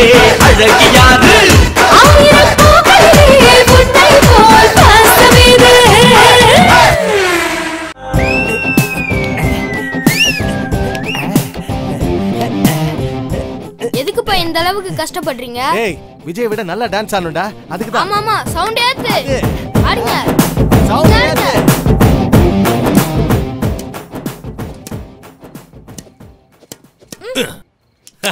ஐம் டன் நான் தான் ஜெயிச்சேன். ஜூஸ் குடிமா? ஏமா வேண்டாம். என்னைக்குமே நீ தான் ஜெயிப்ப? இன்னைக்கு என்ன ரெண்டு செட்லயே முடிச்சிட்ட? கரண் எனக்கு கல்யாணம் பண்ணிக்க விருப்பம் இல்லப்பா. என்னம்மா திடீர்னு இப்படி சொல்ற? வேண்டான்னு சொல்றேன்னா கண்டிப்பா அதுக்கும் ஒரு காரணம் இருக்கும்ல. சரி வேற ஏதாவது மினிஸ்டர் பையனை பார்க்கட்டுமா சொல்லு? எனக்கு மினிஸ்டரோட பசங்க ஐஏஎஸ் ஓட பசங்க எல்லாம் எதுக்கு பாக்குறீங்க வாழ்க்கையில நம்மளை விட பெரிய இடத்துல சம்பந்தம் பண்ணதான் சந்தோஷமா இருக்க முடியுமா? யூர் ராங் வாழ்க்கை நல்லா இருக்க பணம் மட்டும் போதாதுப்பா. திறமையா இருக்கிற ஒருத்தனுக்கு என்ன கல்யாணம் பண்ணி வைங்க. நான் சந்தோஷமா இருப்பேன். ஒரு வகையில பார்த்தா இவ சொல்றதும் கரெக்ட் தாங்க. ஒரு ஏழைக்கு கல்யாணம் பண்ணி வச்சா நம்ம பொண்ண காலம் முழுக்க கண் கலங்காம பாத்துக்குவோம் நம்ம அந்தஸ்துக்காக நம்ம பொண்ண பெரிய இடத்துல கட்டி கொடுக்கறத விட இவ சந்தோஷமா வாழணுங்கிறதுக்காக இவ சொல்ற மாதிரியே செய்யலாம். அந்த மாதிரி ஒரு பையன் எங்க இருக்கான்? நம்ம வீட்லயே ஒருத்தர் இருக்காருப்பா. ஆகாஷ். அவனா? அவ அவன் நம்ம வீட்டு வேலைக்காரமா வேலைக்காரனா இருக்கும்போதே நம்ம கிட்ட இவ்வளோ நேர்மையா இருக்காரேப்பா. நம்ம வீட்ல ஒருத்தர் ஆயிட்டா இன்னும் எவ்வளோ நேர்மையா இருப்பாருன்னு கொஞ்சம் யோசிச்சு பாருங்க. சின்ன வயசுல இருந்தே நீங்க தான் என் ஹீரோ அவரும் உங்களை மாதிரி செல்ஃப் மேட் தான். அந்த குக்கிராமத்துல பிறந்துட்டு இன்னைக்கு ஹோம் மினிஸ்டர் கிட்ட இருக்காரு. இவ்வளோ தூரம் டிராவல் பண்றதுக்கு அவருக்கு மூணு மாசம் கூட தேவைப்படல. இன்னும் பத்தே வருஷத்துல அவர் இன்னும் எவ்வளவு தூரத்துக்கு போவாருன்னு கொஞ்சம் யோசிச்சு பாருங்க. உன்ன மாதிரி படிச்ச பொண்ணுங்களோட பிரச்சனையே இதான். ஏதோ ஒண்ணு சொல்லி அடுத்தவங்கள கன்ஃபியூஸ் பண்ணிடுவீங்க. சரி உன் பிறந்த நாள் வரைக்குமாவது கொஞ்சம் யோசிக்கிறதுக்கு டைம் கொடு.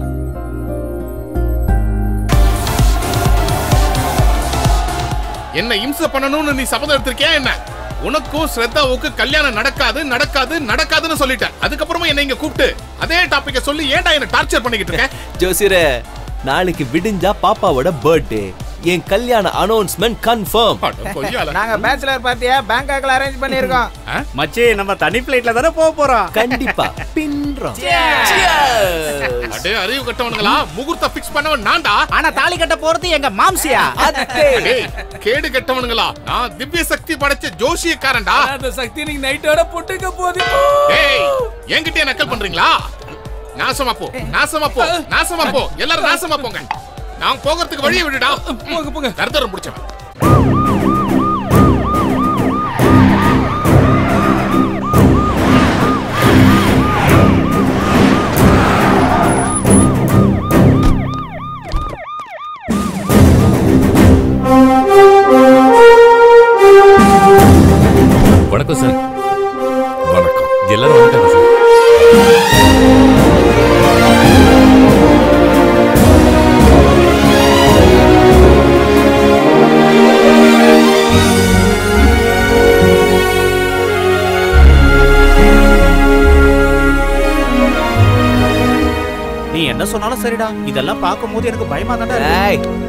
பாரு நடக்க போறது பாரு.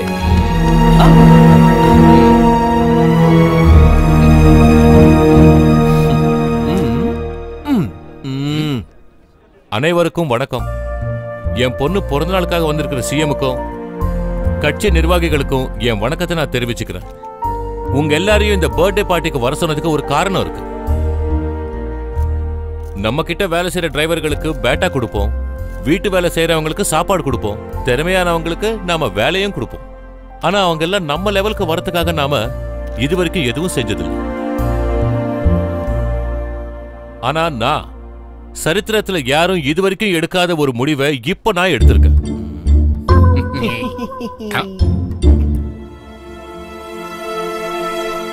என்கிட்ட கொஞ்ச நாளா வேலை செய்யற ரொம்ப திறமையான ஒரு பாடி கார்டா இருக்கிற மிஸ்டர் ஆகாஷ் நாராயணன்.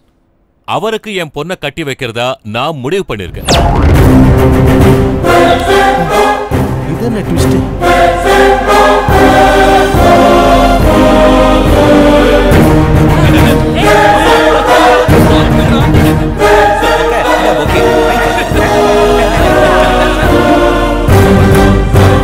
என்னை மன்னிச்சிருங்க சுப்பிரமணியம் சார். என்னோட வருங்கால மருமகனை நான் அனைவருக்கும் அறிமுகப்படுத்தணும்னு நினைக்கிறேன். ஆகாஷ் வா.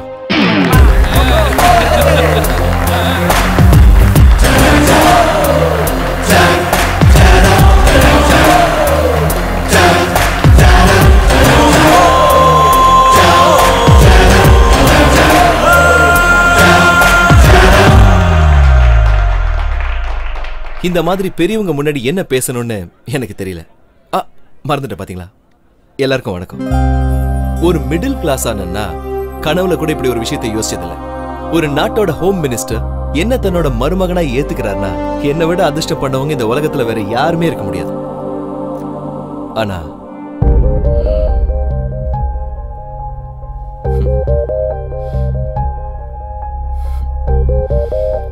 நீங்க எல்லாரும் என்ன மன்னிக்கணும். எதுக்குடா? இந்த கல்யாணத்துல எனக்கு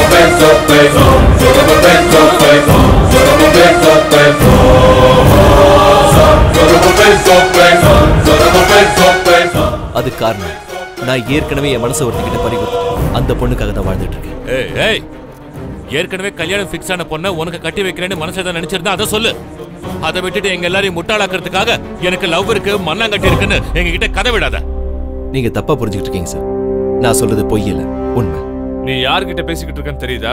அவர் தமிழ்நாட்டிலேயே மிகப்பெரிய கோடீஸ்வரர். அதுவும் இல்லாம அவர் ஹோம் மினிஸ்டர் இந்த மாதிரி ஒரு கோல்டன் ஆப்பர்ச்சுனிட்டி உனக்கு எப்பவும் கிடைக்காது. ஆனா நான் லவ் பண்றது அழகான ஒரு பொண்ணு. அவ பணத்தை இல்ல சார் ஏண்டா? இவன் என்னடா கோல் மேல கோல் போட்டுக்கிட்டே இருக்கான்? யோ யார் அந்த பொண்ணு? அந்த அளவுக்கு லவ் பண்றேன்னா யார் அந்த பொண்ணுன்னு சொல்லு. ஆ, என்னோடது ஒன் சைடு லவ் சார் நீ சொல்றது உண்மையா இருந்தா அந்த பொண்ணு யாருன்னு சொல்லு. நாங்களே அந்த கல்யாணத்தை முடிச்சு வைக்கிறோம். சொல்ல மாட்டேன் சார் சொன்னா நீங்களே என்ன சுட்டு கொண்டுருவீங்க எதுக்குப்பா பயப்படுற நீ? சிஎம் நான் இருக்கேன் போலீஸ் டிபார்ட்மெண்ட்டே இங்க இருக்கு. தமிழ்நாட்டோட முதலமைச்சரா இப்போ நான் சொல்றேன். உன் லவ் உண்மையா இருந்தா நீ லவ் பண்ற பொண்ணு யாருன்னு தைரியமா சொல்லு. நான் முன்ன இருந்து கல்யாணத்தை நடத்தி வைக்கிறேன். இத்தனை மீடியாக்காரங்க முன்னால டிஜிபி சார் தைரியம் கொடுத்திருக்காரு சிஎம் சார் வாக்கு கொடுத்திருக்காரு. அதனால அவ யாருன்னு சொல்றேன். நான் லவ் பண்ற பொண்ணு மிஸ் மீரா. நம்ம தமிழ்நாட்டு முதலமைச்சரோட ஒரே பொண்ணு.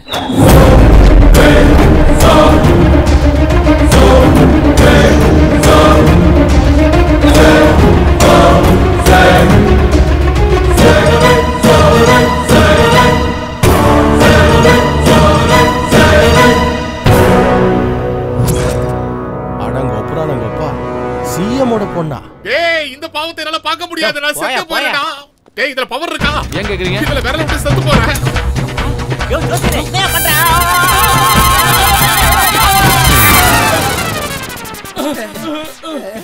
ஜோசியரா புண்ணை ஏன் சாக்கடிக்கல அவன் கொடுத்த ஷாக்கு முன்னாடி இதெல்லாம் ஒரு ஷாக்கா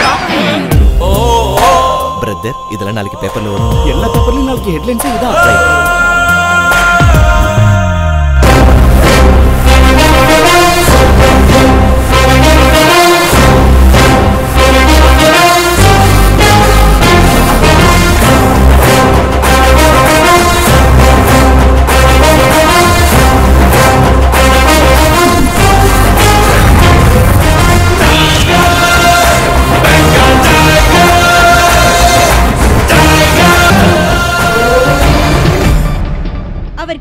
செஞ்சுரியும் அடிக்கவில்லை ஒலிம்பிக்கில் மெடலும் வாங்கவில்லை. பிசினஸ் மேக்னெட்டும் இல்ல யூத்தோட ஐகானும் இல்ல. ஆனால் அவர்தான் இன்று தமிழ்நாட்டு மக்களின் மத்தியில் பிரபலமாக உள்ளார். எஃபில எஃப்எம்ல ட்விட்டர்ல எங்க பார்த்தாலும் அவரை பற்றி தான் பேச்சு. இப்படிப்பட்ட சென்சேஷனல் ஆகாஷ பத்தி இன்னைக்கு நம்ம சேனல்ல எக்ஸ்க்ளூசிவ் இன்டர்வியூ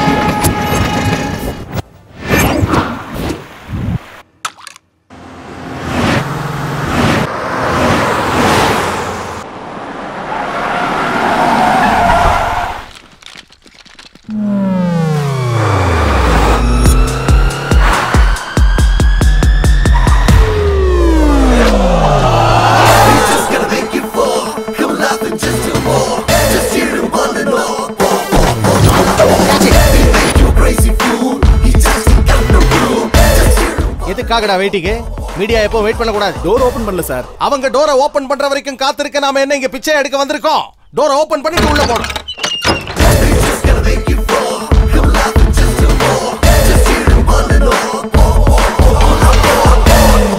அவன் தான் இல்லன்னு ஏற்கனவே சொல்லிட்டேன்ல. அப்புறம் வந்தீங்க? நாங்க உங்ககிட்ட நிறைய விஷயங்கள் கேட்க வேண்டியிருக்கு. நாங்க எதுக்கு சொல்றோம்? ஆமா யார் நீங்க? பால். அமலா பால். அப்படி ஒரு பேரா? Yes Amaravathi Paul. எல்லாரும் பேரை சுருக்கி வச்சுக்குவாங்க. நானு ஊர் பேரை சுருக்கி வச்சுக்கிட்டேன். Way, நான் உங்க வீட்டுக்கு வந்திருக்கேன்னா அது உங்க அதிர்ஷ்டம். ஒழுங்கா வெளியே போயிடு அதான் உனக்கு நல்லது? சரி எனக்கு ஒரே ஒரு பதில் சொல்லுங்க. உங்க ஆகாஷ் ஃபேமஸ் ஆவான்னு உங்களுக்கு ஏற்கனவே தெரியுமா? பூகம்பம் வரும்னு நம்மளால முன்னாடியே சொல்ல முடியுமா என்ன? சரி ஆகாஷ் உங்களுக்கு யாரு? அது எங்களுக்கு தலைவலி. சீரியஸா கேள்வி கேட்கும் போது இப்படி குறுக்க காமெடி பண்றது எனக்கு கொஞ்சம் கூட பிடிக்காதுமா? உங்களுக்கும் அவருக்கும் என்ன உறவு முறைன்னு கேட்டேன். நான் அதை மறந்துட்டேன்? உங்க குடும்பத்துல இருக்கிறவங்க எல்லாருமே இப்படிதானே? ஓகே ஓகே உங்க ஆகாஷ் இருக்காரு. அவர் ஹோம் மினிஸ்டர் பொண்ணை கட்டிக்குவாரா? இல்ல முதலமைச்சர் பொண்ணை கட்டிக்குவாரா? அவன் யார கட்டிக்குவான்னு எனக்கு தெரியாது. ஆனா கல்யாணம் பண்ணிட்டு வந்து பிச்சு போடுவனா பிச்சு. அம்மா. அவன் கொடுத்த ஷாக்ல இந்த ஃபேமிலிக்கு ஃபியூஸ் போயிடுச்சுன்னு நினைக்கிறேன். இதுக்கு மேல இங்க இருந்து பிரயோஜனம் இல்ல. ஏதாவது சந்து புந்துல போய் சென்சேஷனல் நியூஸை கலெக்ட் பண்ணலாம். வாங்க. கமா ஷெஃப் ஆகாஷ் நாராயணன். இந்த குட்டி செவத்துல தான் அவர் என்னைக்கும் உச்ச அடிப்பாராம். இங்க தான் அவர் படிச்சாராம். இங்க தான் அவர் ஆடினாராம். இங்க தான் அவர் ஊதுனாராம். அப்படின்னு ஊர்க்காரங்க சொல்றாங்க. ஃபுட்டேஜ் எந்த சேனலுக்கு கொடுக்கணும் சோ எந்த சேனல்காரன் அதிகமா காசு கொடுக்குறானோ அவனுக்கு கொடு. அவங்களுக்கு தேவை டிஆர்பி நமக்கு தேவை எம்ஆர்பி ஓகே ஆமான்ற. இந்த தமிழ்நாட்டோட எதிர்க்கட்சி தலைவரை தான் பேசுறேன். சிஎம் சொன்ன வார்த்தையை என்னைக்குமே காப்பாத்த மாட்டாரு. சார் எதை வச்சு இந்த மாதிரி எல்லாம் சொல்றீங்க? இலவசமா கரண்ட் தர இலவசமா இடம் தர. ஆனா இது வரைக்கும் எதுவுமே நடக்கலையே. அந்த பையனுக்கு கொடுத்த வாக்குப்படி அந்த பொண்ணை அவனுக்கே கட்டி வைக்கட்டும். நாங்க வாழ்த்துக்களை தெரிவிக்கிறோம். என்னங்க பைத்தியகாரத்தனமா இருக்கு? அது ஒண்ணும் நாய்க்குட்டி கிடையாது. யார் கையில வேணாலும் தூக்கி கொடுக்கறதுக்கு. அப்ப மீடியா முன்னாடி நீங்க சொன்ன வார்த்தையை காப்பாத்த மாட்டீங்களா? கொடுத்த வார்த்தையை மீறவும் மாட்டோம். செஞ்சதை சொல்லி காட்டவும் மாட்டோம். அதான் எங்க கட்சியோட கொள்கை. அப்ப உங்க டாக்டர் அவருக்கே மேரேஜ் பண்ணி கொடுத்துருவீங்களா? நான் காதலுக்கோ காதலர்களுக்கோ எதிரி கிடையாது. முதல்ல என் பொண்ணு மனசுல என்ன இருக்குது? நான் தெரிஞ்சுக்கணும். அதை தெரிஞ்சுக்கிறதுக்காக தான் நான் உன்னை இங்க வர சொன்னேன். எதை பத்திங்க? ஒன்னும் தெரியாத மாதிரி நடிக்காத. நம்ம காதலை பத்தி தான் கேக்குறேன். காதல் எங்கங்க? நமக்குள்ள இருக்கிறது முதலாளி தொழிலாளிங்கிற உறவு மட்டும்தானுங்களே. காதலிக்கலன்னா பின்ன எதுக்காக என்ன ஆபத்துல இருந்து காப்பாத்துன? காப்பாத்துறது என்னோட கடமைங்க. ஓஹோ. அப்ப எல்லாரும் முன்னாடி எதுக்கு சாரி கட்டி விட்ட? ஹெல்ப் பண்றது என்னோட நேச்சருங்க. நிஜமா மனசுல ஒண்ணு இல்லனா அப்புறம் எதுக்காக என்ன சுத்தி சுத்தி வந்த? நான் சுத்தி வரலீங்க பாதுகாப்பா இருந்தேன். அதான் ஏன்னு சொல்லு. அஃபெக்ஷனா இருந்தா தான் ப்ரொடெக்ஷன் கரெக்டா இருக்கும். உண்மைய பொய்யாக்கி பொய்ய உண்மையாக்குறதுக்கு உன்னால மட்டும்தான் முடியும். நானும் மீராவும் எயிட் ஸ்டாண்டர்ட்ல இருந்து ஃப்ரெண்ட்ஸ் அதுவும் இல்லாம உன் லவ் ஸ்டோரி பத்தி அவளும் எதுவும் சொல்லல? நீயும் என்கிட்ட எதுவும் சொல்லல? சக்சஸ்ஃபுல் லவ் ஸ்டோரியா இருந்தா துள்ளி குதிச்சு சந்தோஷமா சொல்லலாம். ஆனா எனது ஒன் சைடு லவ் அந்த விஷயம் அவங்களுக்கு தெரியாது. நல்லா இருக்கு நான் லவ் பண்றது உனக்கு தெரியாது நீ லவ் பண்றது அவளுக்கு தெரியாது. அது மட்டும் இல்லாம அவ இருந்தது யூரோப்ல நீ இருந்தது வில்லேஜ்ல அப்புறம் எப்படி அவளை பாத்துக்க முடியும்? புஷ்கர்ல வச்சுதாங்க.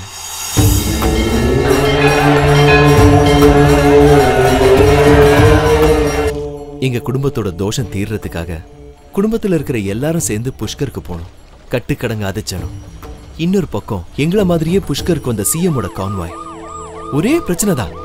நமக்கு எதுக்குடா இந்த பிரச்சனைன்னு என் பாட்டி எனக்கு கொடுத்த துண்டை கட்டிக்கிட்டு தண்ணிக்குள்ள மூழ்கினேன். மூணாம் தடவை முங்கி எந்திரிச்சப்போ எதிரில் ஒரு அழகான பொண்ணு. ஒரு நிமிஷம் நான் ஏதோ ஒரு தேவதையா தான் இருப்பான்னு நினைச்சேன்.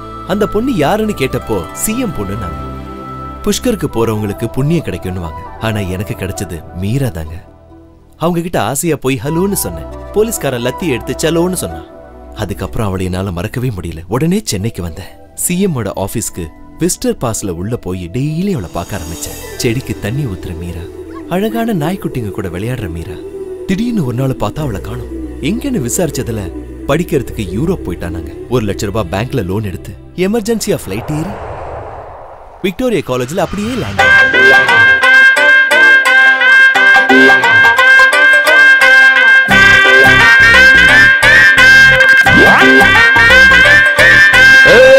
கண்மணி கால தொட்டு காதல நான் சொல்லுற நீ இந்த காலனங்க கண்ணு குளச்சிட்டிய துள்ளி தள்ளி போறிய.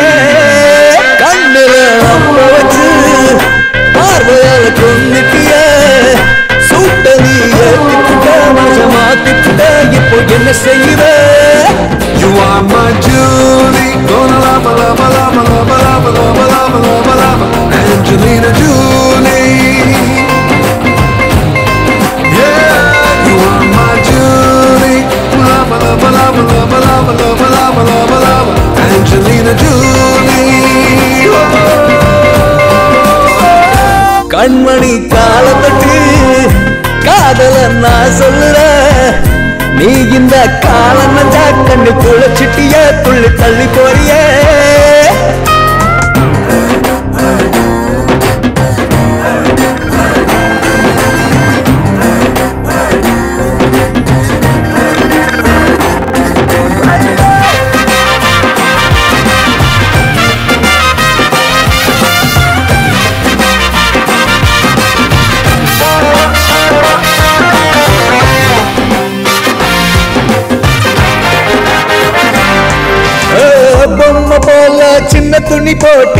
செம்மையாதா கட்டழக காட்டி.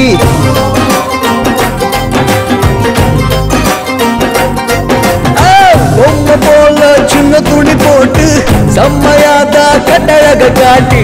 எந்த மனதில் வெடியொன்ன வச்சு ஒதுங்கி போற வெள்ளக்குட்டி நீதா? உயிர் பழப்ப நீ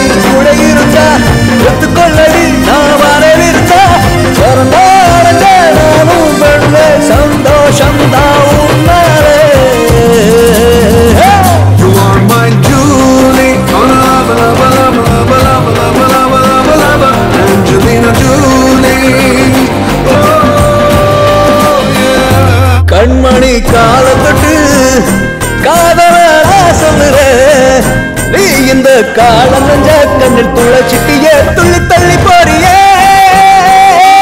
காதல் வரும் நல்லானே கண்டேன் கண்ணை கண்டேன் கண்ணை. என்ன செய்வ எது செய்வே? முத்தம் ஒன்று தந்தால் பெண்ணை காதல் வரும் நல்லானே கண்டேன் கண்ணை கண்டேன் கண்ணை. என்ன செய்வ எது செய்வே? முத்தம் ஒன்று தந்தால் பெண்ணை.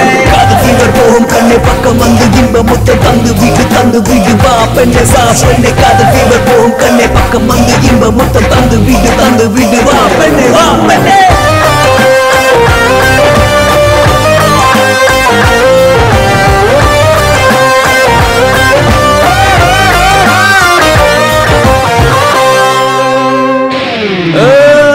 காதல் சொல்ல நானும் வந்த. நீயும் என்ன கண்டுக்காம நின்ன?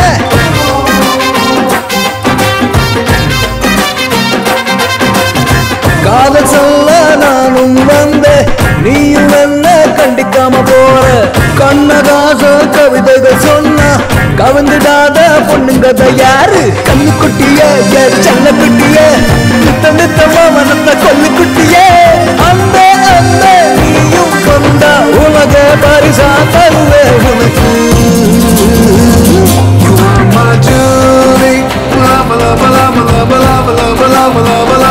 Angelina Jolie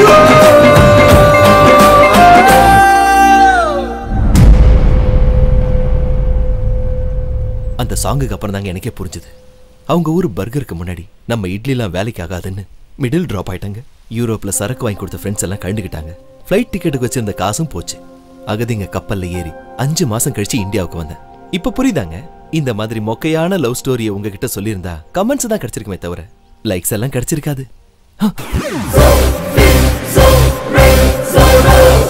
என்ன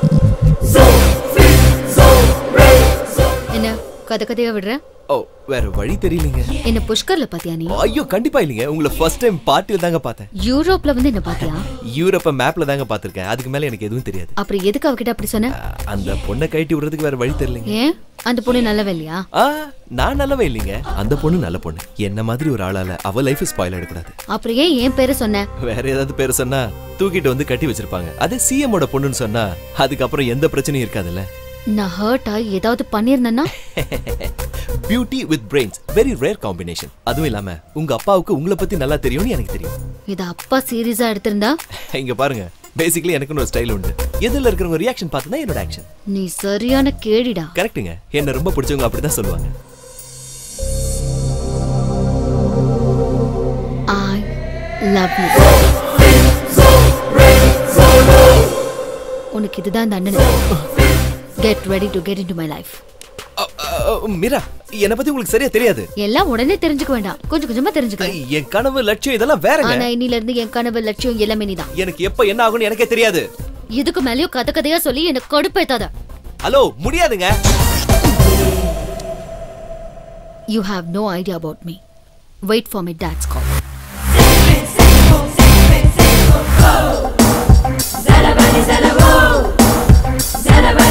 ஏய்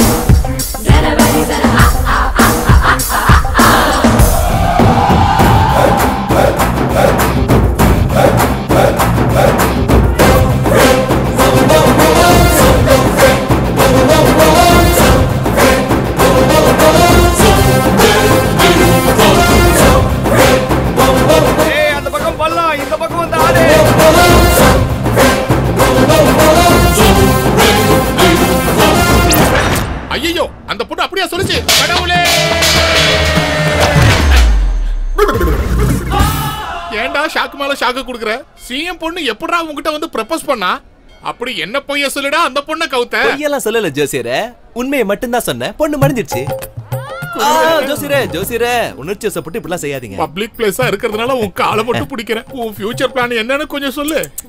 ஃபியூச்சரை பிளான் பண்ணக்கூடாது ஜோசியரை. அனுபவிக்கணும். அனுபவிக்கணுமா? என்ஜாயா? சின்ன வயசுல இருந்து கஷ்டப்பட்டு ஜோசியத்தையும் சாஸ்திரத்தையும் நான் கத்துக்கிட்டேன். நான் கத்துக்கிட்ட சாஸ்திரங்கள் என்னை ஏமாத்திருச்சு. நாற்பத்தி ஏழு வயசு வரைக்கும் பிரம்மச்சரியத்தை கடைபிடிச்சு பொண்ணுங்க பக்கத்திலே நான் போல. இனி என் கேரக்டரை நான் மாத்த போறேன்டா.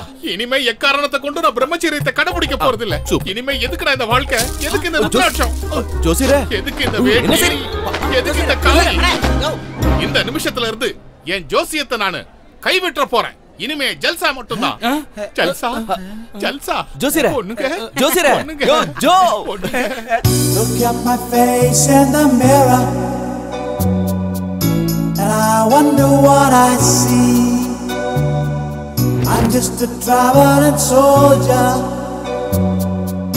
and I'll be all I can be. But right now, right now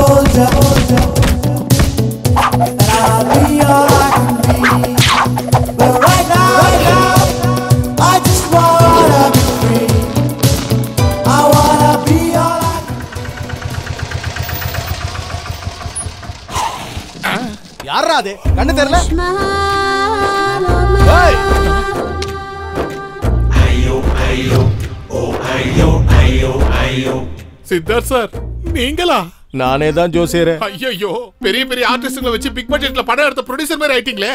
இப்போ என்ன என்னன்னு சொல்ல சொல்றீங்க? அவன் கொடுத்த ஷாக்ல அண்ணன் என்ன வீட்டை விட்டே துரத்திட்டாரு. துரத்திட்டாரா? அதனாலதான் பகலெல்லாம் இந்த மாதிரி வாட்டர் கேனை போட்டுட்டு ராத்திரி தேனாம்பேட்டையில இட்லி வித்துக்கிட்டு இருக்கேன். அப்போ உன் ஃபேமிலி எல்லாம்?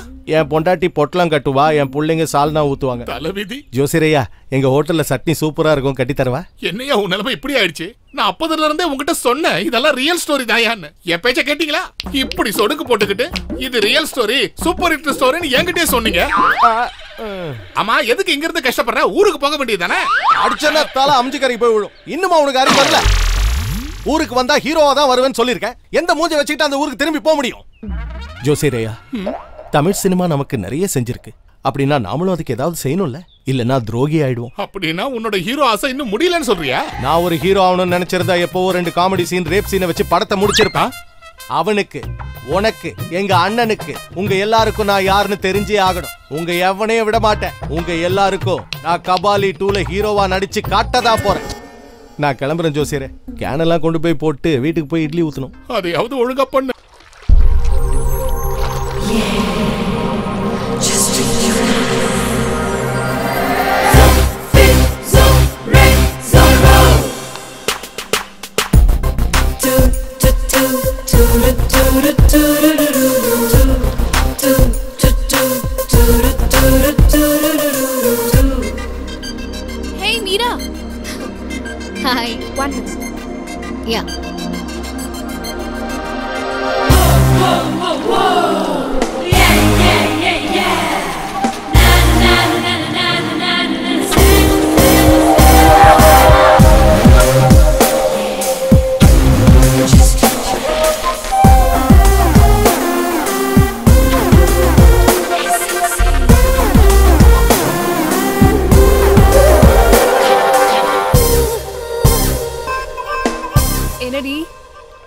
பார்க்கறதுக்காக பூவோட வந்திருக்க? உனக்கு தேங்க்ஸ் சொல்லலான்னு தேங்க்ஸா எதுக்கு? உன்னால தானே நான் ஆகாஷ சந்திக்க முடிஞ்சது. அதுக்கு நான் காரணம் இல்லடி. அவ உன்னை பார்க்கறதுக்கு உன் பின்னாடி யூரோப்கே வந்திருக்கா? கிரேசி காய் ஆக்சுவலா அந்த மாதிரி எதுவுமே நடக்கல. அவன் உன்கிட்ட கதை விட்டுருக்கான். உண்மையாவா? சாதாரணமா லவ் பண்றதுக்காக தான் பசங்க கதை விடுவாங்க. ஆனா அவனை காம்ப்ரமைஸ் பண்றதுக்காக சொல்லியிருக்கான். இதுல என்ன தப்பு இருக்கு? அப்படின்னா அவன் சொன்னதெல்லாம் அவன் சொன்னது எல்லாமே போய் அந்த மாதிரி ஒருத்தங்கிட்ட போய் நீ ஓகே சொல்லிட்டியா? அவன் அந்த மாதிரி இருக்கிறதுனால தான் ஓகே சொன்னேன். ஆமா அவனை பத்தி நான் எல்லாமே விசாரிச்சேன். ஃபேமஸ் ஆகிறதுக்காக கல்ல தூக்கி அடிச்சிருக்கான். ப்ரமோஷன் வந்த உடனே மினிஸ்ட்ரியே ரோட்ல இறக்கி விட்டுட்டு போயிருக்கான். ஒன்னும் கல்யாணம் பண்ணிக்க முடியாதுன்னு என்ன மாட்டி விட்டுட்டான். ஹே சம்திங் அவனோட பிரசன்ஸ் ஆஃப் மைண்ட்ல நான் விழுந்துட்டேன். ஸ்ரதா நம்மள மாதிரி வயசு பொண்ணுங்களுக்கு ஒரு வயசு வந்துருச்சுன்னா ஒரு கேள்வி மனசுக்குள்ள உறுத்திக்கிட்டே இருக்கும். அழகா இருக்கிறவனை கல்யாணம் பண்ணிக்கணுமா? பணம் இருக்கிறவனை கல்யாணம் பண்ணிக்கணுமா? இல்ல படிச்சவனை கல்யாணம் பண்ணிக்கணுமான்னு ஆனா நான் ஆகாஷ சந்திச்ச பிறகுதான் எனக்கு ஒரு கிளாரிட்டி வந்துச்சு. புத்திசாலியான ஒருத்தனை கல்யாணம் பண்ணிக்கணும். எஸ் எனக்கும் இப்பதான் கிளாரிட்டி வந்திருக்கு. மம்மி?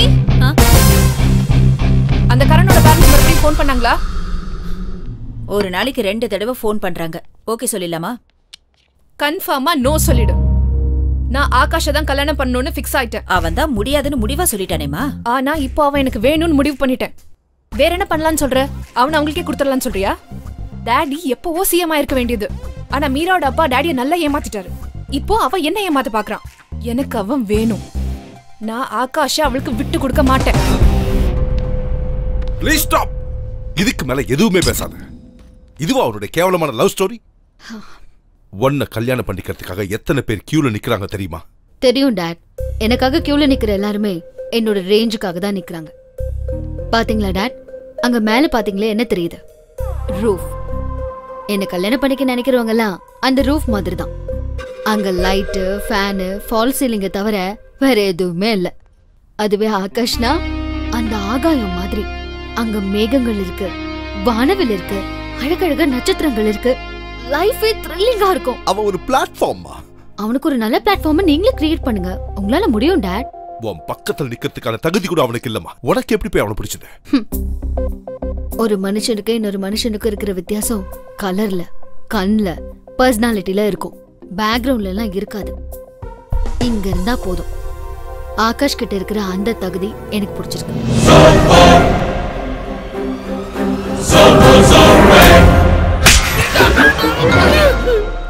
எதுக்கு சார் என்ன அடிக்கிறீங்க? உன்னை கொன்னு போடணும்டா. கல் எடுத்து தன் மண்டைய உடைச்சவனை எவனாவது பர்சனல் அசிஸ்டண்டா சேர்த்துக்கு வேணாம். நானாவது வேலையில தான் சேர்த்துக்கிட்டேன். இவரு வீட்லயே கொண்டு போய் வச்சுக்கிட்டாரு. ஏண்டாப்பா பிரச்சனை பண்ண போறவன் தெரிஞ்ச நான் ஏப்பா வீட்ல கொண்டு போய் வச்சுக்க போறேன்? இவன் சைலண்டா உள்ள வந்து எல்லாரையும் இப்படி கலக்குவான்னு யாருக்கு தெரியும்? என்னையாவது நடு ரோட்ல விட்டுட்டு போனான். ஆனா இவருக்கு வீட்லயே படிச்சிட்டான் ஆஃப்டர் ஆல் ஒரு காமன் மேன் அந்த பையன். அவனுக்காக ஒரு சிஎம் ஒரு ஹோம் மினிஸ்டர் ஒரு தொழில்துறை அமைச்சரும் பேச வேண்டிய அவசியம் என்னன்னு கேக்குறேன். நீங்க ஒரு வார்த்தை சொன்னீங்கன்னா ராத்திரியோட ராத்திரியா அவனை பீஸ் பீஸ் ஆக்கிடுவோம். என்னையா முட்டாள்தனமா பேசுறேன் அவன் இப்போ காமன் மேன் இல்ல செலிபிரிட்டி இன்னைக்கு தமிழ்நாட்டுல அவனை தெரியாதவங்க யாருமே அவன் மேல குண்டூசி விழுந்தா கூட சேனல்காரங்க குண்டு போட்டதா சொல்லுவாங்க. அந்த குண்டை நான் போட்டனா இல்ல நீ போட்டியான்னு கேட்பான்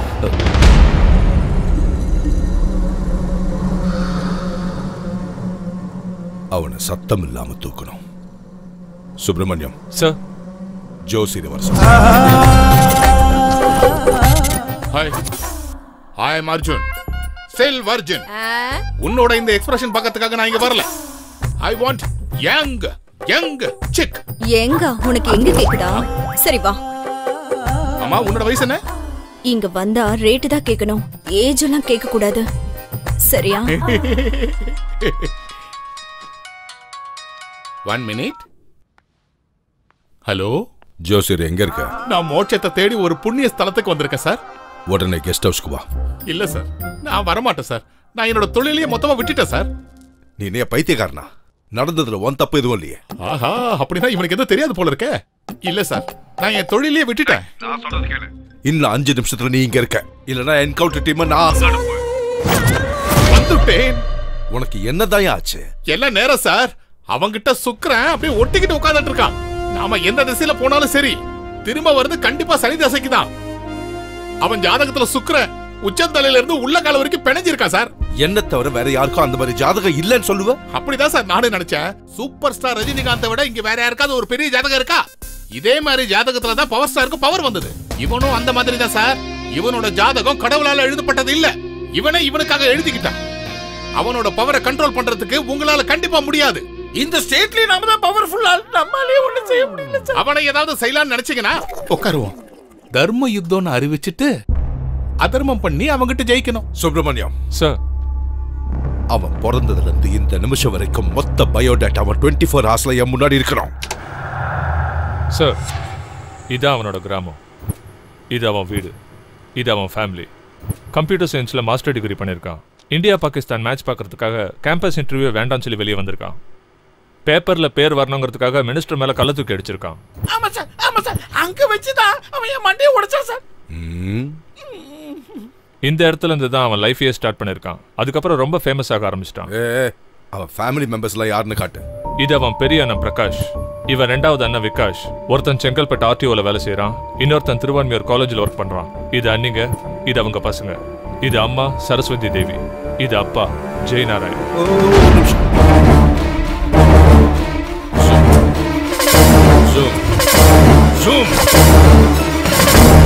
இவன் ஜெய் நாராயணனுடைய பையன்.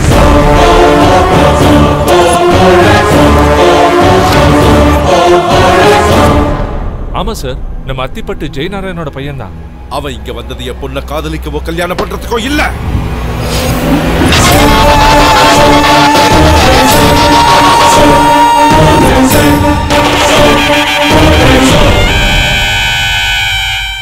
அவன் காதலன் இல்ல. கிராதகன். உங்களை வச்சு அவன் உள்ள நுழைஞ்சதை என்ன தூக்கிறதுக்காக. அவனோட லட்சியம் டார்கெட் எல்லாமே நான் தான் ஒரு சாதாரண மனுஷனா செய்ய முடியாதத செலிபிரிட்டியா செஞ்சு முடிக்கணும். அவனுக்கு காட்டுறேன். பிளான் அவன் போட்டிருந்தானா அதை நான் செஞ்சு முடிச்சு காட்டுறேன். சுப்பிரமணியம் சார் நாளைக்கு கல்யாணத்தை பத்தி பேசணும்னு அவன் கிட்ட சொல்லி. நம்ம கெஸ்ட் ஹவுஸ்க்கு வர சொல்லு.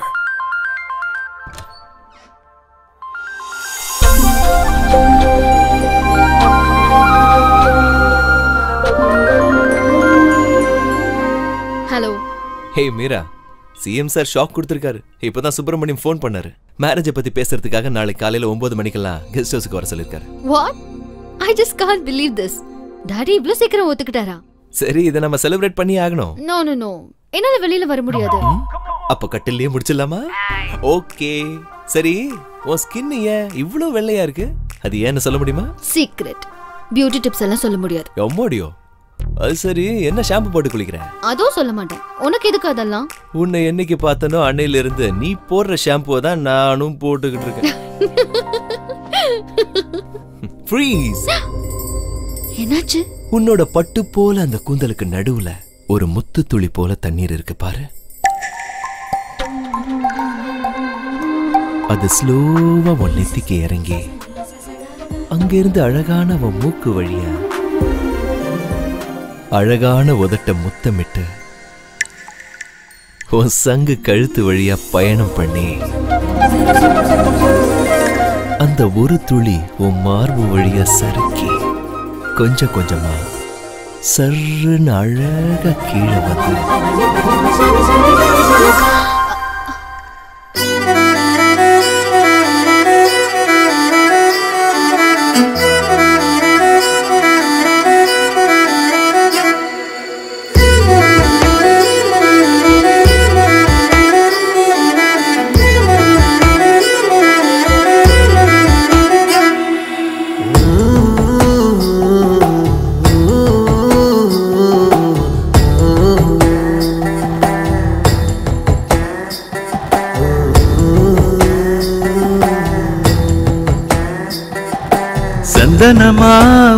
உன் செண்பகமா உன் வாசம் புன்னகையில். தேனூற்றா. மெல்லிடையில் பலாரா பெண் பாவாய் கண் பாவாய் கொல்லாதே. என்னை கொல்லாதே. கனவுக்குள் உயிர் பெறும் சித்திரமே. கவிதைக்குள் இனித்திடும் முத்தமிழே. வானத்தில் ஒளிர்ந்திடும் வெண்மதி. பிரம்மனும் மயங்கிடும் பெண்ரதியே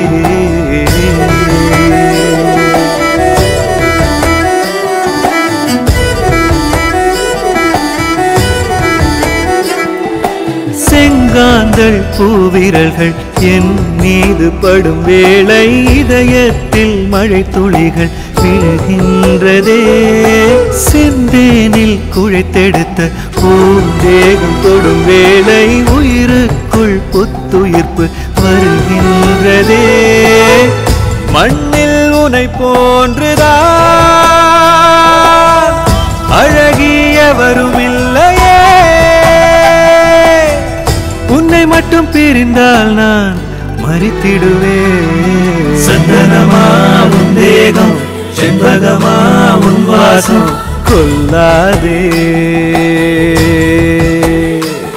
என்னை கொல்லாதே.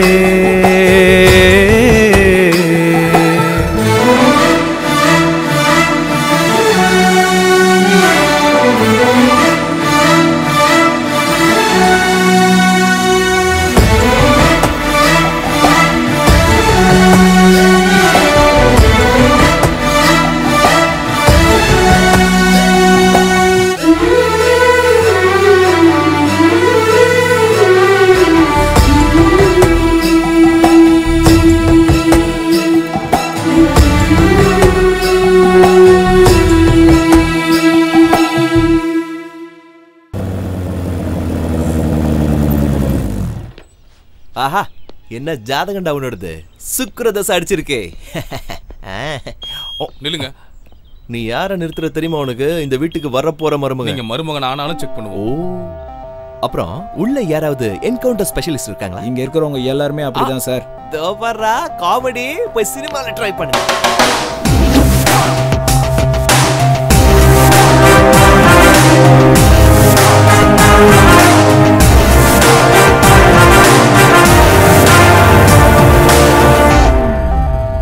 மார்னிங் சார்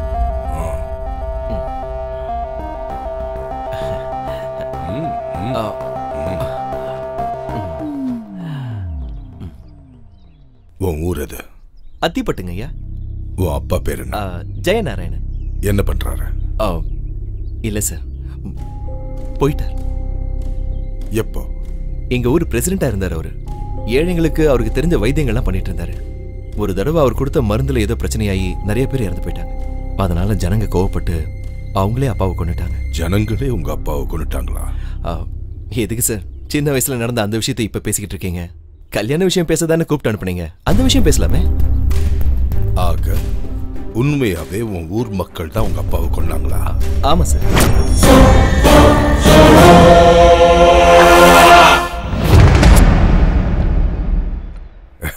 ஓகே ஓகே சரி சும்மா உன்னை பத்தி தெரிஞ்சுக்கலாம் தான் கேட்டேன். ஆக்சுவலி வேற ஒரு விஷயம் பேசுறதுக்கு தான் உன்னை வர வச்சேன். ஆனா இப்பதான் எனக்கு எல்லாமே தெளிவா தெரியுது. அதனால தான் போகட்டும்னு உன்னை கொல்லாம. என் பொண்ணை மறந்துட்டு ஒழுங்கா இந்த ஊரை விட்டு ஓடி போயிடு. என்ன சார்? வார்னிங்க ஆர்டர் ஆர்டர் கொடுத்தா இந்த ஆகாஷ். இந்த இடத்தை விட்டு கூட மாட்டேன் உங்க பொண்ணு என்ன லவ் பண்றா? நானும் ஃபிக்ஸ் ஆகிட்டேன் யார்கிட்ட என்ன பேசிட்டு இருக்கோன்னு தெரிஞ்சுதான் பேசுறியா? ஒரு சிக்னல் கொடுத்தனா உன் உடம்பெல்லாம் சல்லறையாயிடும் சிக்னல் கொடுங்க. டேய் அஞ்சு வருஷம் பவர்ல இருக்கிற சிஎம் அந்த சிஎம் அந்த சீட்ல உட்கார வச்சதே நாங்க. காமன் மேன் ஓட் பவர் நான் நினைச்ச நான் ஒரே செகண்ட்ல உன்னை கொன்னுடுவேன்டா. ஒரு செகண்ட் இல்ல 24 ஃபோர் ஹவர்ஸ் டைம் கொடுக்குறேன். உன்னால முடிஞ்ச எல்லா ட்ரை எங்கன்ற வருது உனக்கு தைரியம்? பிரபலமான ஆள் ஆயிட்ட பெரிய செலிபிரிட்டி ஆயிட்ட உன்னை ஏதாவது பண்ணா பிரஸ் மீடியா ஆளுங்களா சப்போர்ட்டுக்கு வருவாங்கன்னு தெரியுமா? நான் மத்தவங்கள நம்பி வாடுறவன் இல்ல. என்ன மட்டுமே நம்பி வாடுறவன்.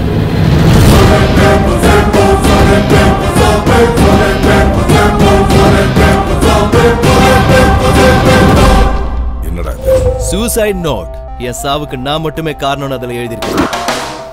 ஆளுங்களை வச்சு கொண்டாலும் சரி ஆயுதங்களை வச்சு கொண்டாலும் சரி இந்திக்காரங்களை வச்சு கொண்டாலும் சரி இன்டெலிஜென்ட்டா கொண்டாலும் சரி வாய்ஸ்டம் twenty four hours CM Balu போங்கோட்ல சும்மா ட்ரை பண்ணு.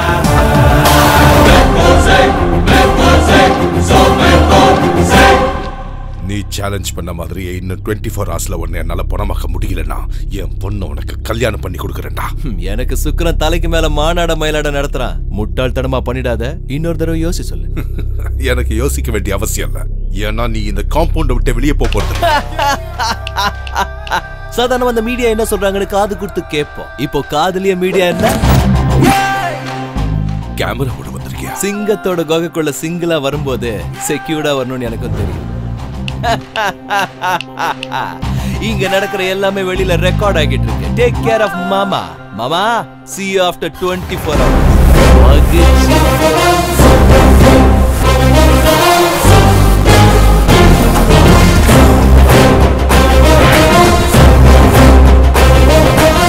யோ மாமோய் வச்சுக்கோ என்னடா சார் அவன் உங்களை நல்லா ஏமாத்திருக்கான் சார் இது கேமராவே இல்ல sir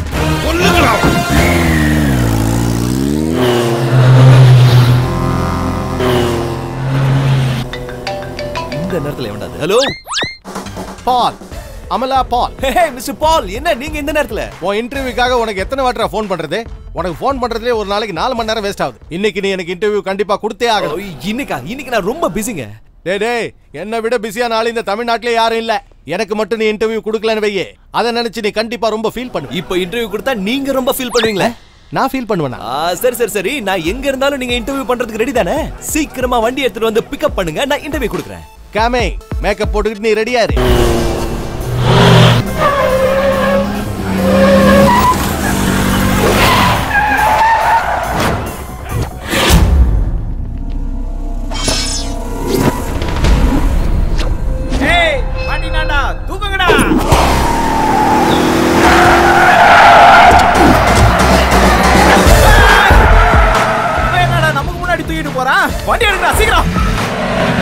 What a timing sir what a timing அந்த டைமிங்லாம் விட்டு தள்ளு. இப்ப ஏன் டைமிங்க்கு வா. என்ன சார் இன்டர்வியூ பண்றேன்னு சொல்லிட்டு எல்லாத்தையும் லாக் பண்றீங்க? என்னோட ஸ்டைலே அதான் நான் இன்டர்வியூ ஆரம்பிக்கிறதுக்கு முன்னாடி எல்லாத்தையும் லாக் பண்ணிடுவேன். இன்டர்வியூ முடிஞ்ச அப்புறம் தான் திறந்து விடுவேன். ஓஹோ. அப்போ இடையில உச்சாடிக்க போகணும்னா? செத்தாலும் திறக்க மாட்டேன். இதான் என் ஸ்டைல்னு அப்பவே சொன்னேன்ல. சரி உன் வாழ்க்கை எப்படி ஸ்டார்ட் ஆச்சுன்னு சொல்லுமா. கல்லுல இருக்கு. ஐயோ அம்மா. இவங்கெல்லாம் யாரு? சிஎம்மோட ஆளுங்க சார். உன்னை ஏன் துரத்திக்கிட்டு வராங்க? நான் அவரோட பொண்ணை துரத்துறேன். அதனால அவங்க என்ன துரத்துறாங்க? ஆனா இத பத்தி என்கிட்ட சொல்லவே இல்லையே. நீங்க தானே சொன்னீங்க நான் இன்டர்வியூ கொடுத்தா எங்கேயோ போயிடுவேன்னு. அதனால தான் நான் உங்களை கூப்பிட்டேன். நீங்க கேப்ல வந்து ஆப்ல மாட்டீங்க கேப்ல வந்துடுறேன்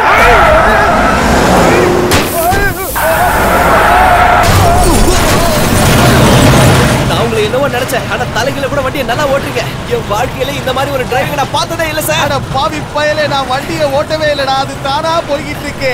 எதுக்குடா இந்த மாதிரி நேரத்துல நீங்க கூப்பிட்ட? நீங்க தான் அர்ஜென்ட்டா இன்டர்வியூ வேணும் கேட்டீங்க. அதுக்காக இப்படி ஒரு சுச்சுவேஷன்லயா சீக்கிரம் அந்த லாக்க ஓபன் பண்ணு. ஏண்டா இந்த மாதிரி டென்ஷனான நேரத்துல கூட கேம்ஸ் ஆடிட்டு இருக்கேன் டென்ஷனை குறைக்கதா? கேம் ஆடிக்கிட்டு ஆமா டேய் உனக்கு புண்ணியமா போகும். டோரை ஓபன் பண்ணு. One second come on mr paul. Come on come on come on. Let's do the interview in the auto. Please come come come come come. டேய் அருவா விசாரிச்சுட்டானுங்க ஆட்டோ வேணே உட்காருங்களா? டேய் சீக்கிரமா போடா இல்லனா வெட்டி கூறு போட்டுருவாங்க டேய் ரொம்ப தாகமா இருக்கு. குடிக்க தண்ணி ஏதாவது ஏற்பாடு பண்ண. ஒன் செகண்ட் சார் இந்தாங்க குடிங்க. இப்படி கொடுத்தா எப்படிடா குடிக்கிறது? உன் கூட பெரிய இம்சையா போச்சு. ஐடியா இருக்கு. எல்லைய கொஞ்சம் வெளில நீட்டுங்க. நீட்டு டென் சீவிட்டானுங்களா இப்ப குடிங்க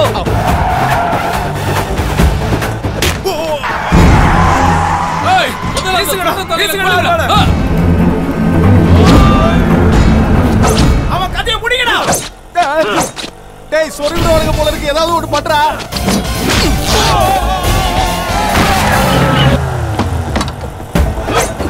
இன்டர்வியூ டாப்ல போவோம்னு சொன்னா இப்ப டாப்பையே காணோம். நாம ரெண்டு பேரும் சேர்ந்து மேல. போயிடுவோம் போல இருக்கு. அவனை கொல்லுங்கடா. என்னங்கடா?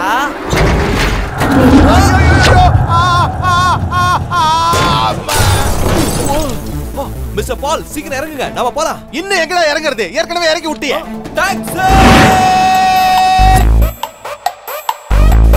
இவனுங்க யாரா ஒட்டி பிறந்த ரெட்டை குழந்தை மாதிரி கூடவே வந்துட்டு இருக்கானுங்க. கொஞ்சம் போன் கொடுங்க. கேட்டதுக்கு பதில் சொல்லு. உங்களுக்கு பதில் வேணுமா? உயிர் வேணுமா? உயிர் தான் வேணும். இந்த அப்படி two hundred cabs urgent on Adyar road two hundred கார்ஸா எதுக்குடா?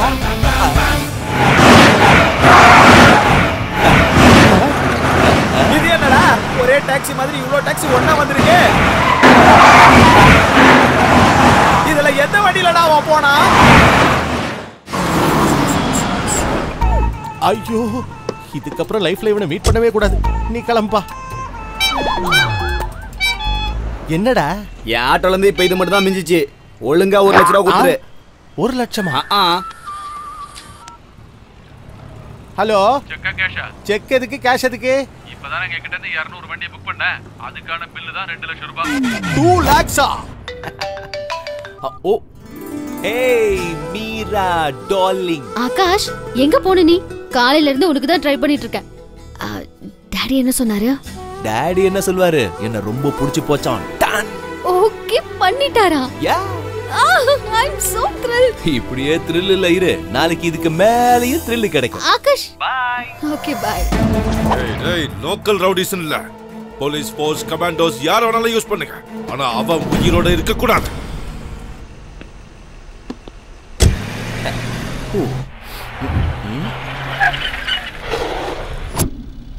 ஹம். முதலமைச்சர் அங்கிள். இன்னும் அடங்கலையே? சரி துரத்துங்க.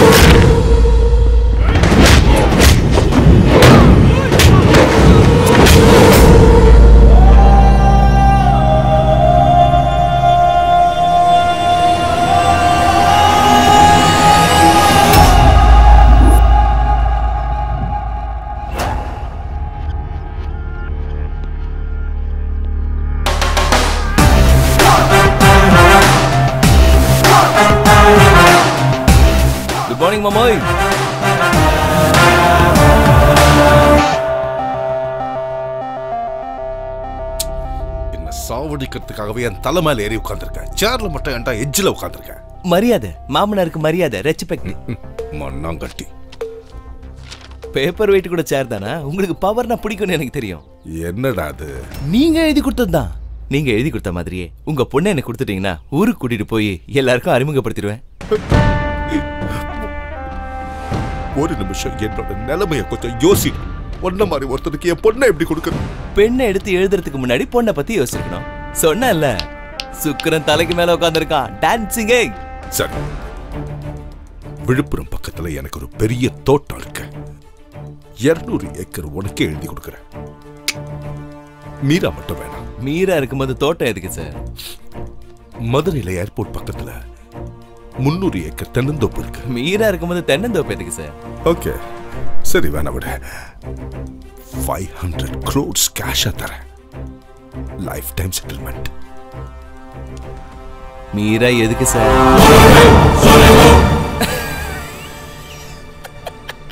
உங்க டீல் எனக்கு ஓகே சார்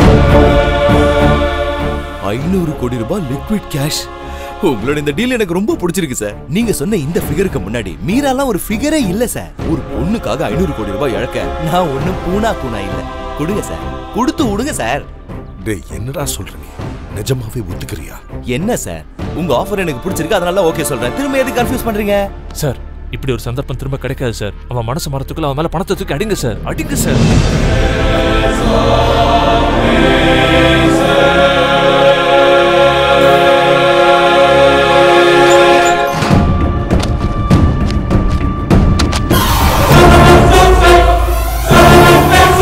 கொப்புரானுங்க அப்பா இவ்வளவு பணத்தை நான் கண்ணாலேயே பார்த்தது இல்லையே என் பர்சுக்குள்ள நான் முழுசா ஐயாயிரம் ரூபாவே வச்சதில்ல.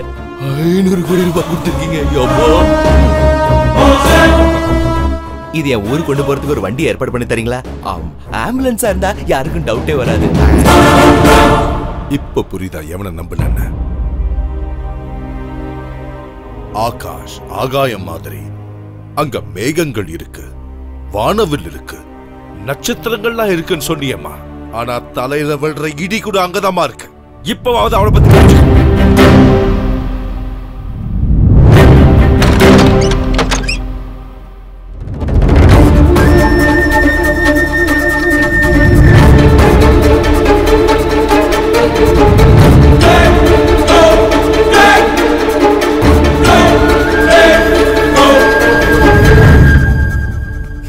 என்ன மாதிரி ஒரு நடிப்பு எனக்காக இவ்வளவு தூக்கி எறிஞ்ச? இப்ப பணத்துக்காக என்ன தூக்கி எறிஞ்சிட்ட? நாளைக்கு இவங்களோட நிலைமைலாம் என்ன? ஹம், இது எல்லாமே எங்க அப்பாவோட கனவு எங்க அப்பாவோட கனவுனே சொன்னேன் ஆனா இப்பதான் உங்க அப்பா எப்பேற்பட்டவர்னு எனக்கு ரொம்ப நல்லா தெரியுது. அவர் சேவங்கிற பேர்ல ஜனங்களை கொண்டாரு. நீ காதலுங்கிற பேர்ல எங்களை கொண்டுட்ட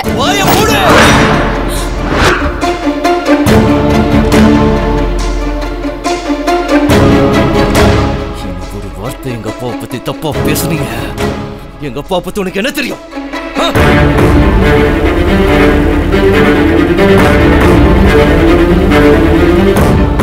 அது யாருன்னு தெரியுமா?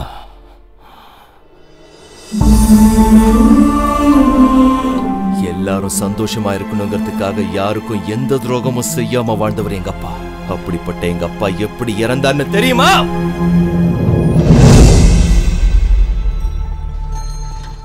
எல்லா வருஷமும் போல இந்த வருஷமும் தீராத வியாதிகளை குணமாக்குற மருந்து வாங்க வந்திருக்கிற உங்களை நாங்க அன்போட வரவேற்கிறோம். பல மருத்துவமனைகளுக்கு போய் டாக்டர்களாலேயே குணப்படுத்த முடியாத வியாதிகளை ஒரு ஒத்த மூலிகையால குணப்படுத்துற சிறந்த வைத்தியர்னு இந்த உலகம் பூரா போற்றப்படக்கூடியவர் தான் எங்க ஜெய் நாராயணன் ஐயா. எங்க அப்பாவை எங்க ஊர்ல இருக்கிறவங்க மட்டும் இல்லாம பக்கத்து ஊர்ல இருக்கிறவங்களும் ஒரு தெய்வம் மாதிரி பார்த்தாங்க. அவரை பார்த்தா மேகம் கூட அவருக்காக கொடை பிடிக்கும்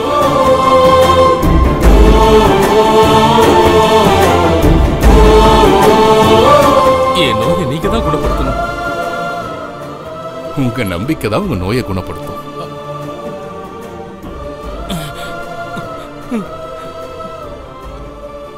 ஆஹா காட்டுமா?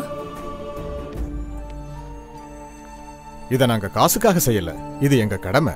நோயாளியை பார்க்க போறவனுக்கு கூட ஆபரேஷன் பண்ற இந்த காலத்துல பணம் கூட வாங்காம வைத்தியம் பண்றீங்களே. அட்லீஸ்ட் இதை என் திருப்திக்காவது? உங்களுக்கு அவ்வளவு ஆசையா இருந்தா என்னோட பிள்ளைங்களை ஆசீர்வாதம் பண்ணிட்டு.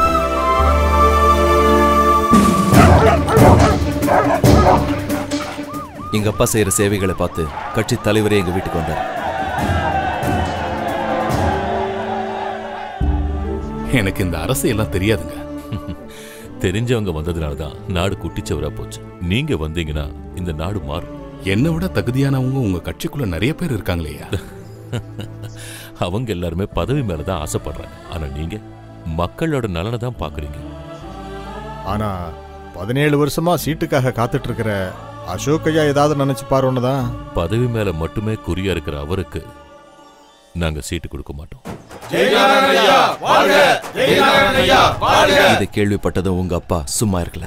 எங்க அப்பா கிட்ட நேரடியா மோத முடியாதுங்கிறதுனால தனக்கு பதவி கிடைக்கலையேங்கிற வருத்தத்தை வெளியில காட்டிக்காம எங்க அப்பா கிட்ட நட்பா இருக்கிற மாதிரி நடிச்சாரு. என்னங்க இது? நீங்க கோவமா இருப்பீங்கன்னு நினைச்சேன் ஸ்வீட்டோட வந்திருக்கீங்க? உங்களுக்கு கிடைக்க வேண்டிய சீட்டு இவருக்கு கிடைச்சிச்சுன்னு வருத்தம் இல்லையே? ம், இல்லைன்னு சொல்ல மாட்டேன். ஆனா அதுக்காக கோவப்படுறதுல எந்த அர்த்தமும் இல்லைன்னு தெரியும். நான் நம்ம கட்சியோட மாவட்ட செயலாளரா இருக்கலாம். ஆனா இவரோட சேவைக்கு முன்னாடி என் பதவியெல்லாம் ஒண்ணுமே இல்ல. பதவிக்காக வேலை செஞ்ச பணம் கிடைக்கும். ஆனா சேவையினால பேர் தான் கிடைக்கும். அந்த பேரால தான் உங்களுக்கு சீட்டே கிடைச்சிருக்கு. நான் போட்டியிடுறதே கட்சியை ஜெயிக்க வைக்கிறதுக்காக இல்ல. மக்களுக்கு சேவை செய்ய தான். நீங்க என் பக்கத்துல இருந்தீங்கன்னா அந்த வெற்றி உங்க வெற்றியாவே உங்க அப்பாவோட போலி நடிப்பால ஊரே ஏமாந்துச்சு. ஆனா உங்க அப்பாவோட ஆளுங்க இதை ஏத்துக்க தயாரா இல்ல. என்னண்ணா இதெல்லாம்? டேய் ஆசைப்பட்ட எல்லாருக்கும் கிடைக்கிறதுக்கு பதவிங்கிறது அவ்வளவு சாதாரண விஷயம் இல்ல. அதுக்கு அதிர்ஷ்டம் வேணும். ஆனா நம்ம கட்சிக்காக எவ்வளவு வேலை செஞ்சோம்? வேலை செஞ்சா காசு மட்டும்தான் கிடைக்கும். சீட்டெல்லாம் கிடைக்காது. அந்த பதவியில உட்கார அவனுக்கு எந்த தகுதியும் இல்லைண்ணே. பதவிக்கு முன்னாடி தகுதிக்கெல்லாம் இடம் இல்ல. அதோ அந்த சேரை பாரு.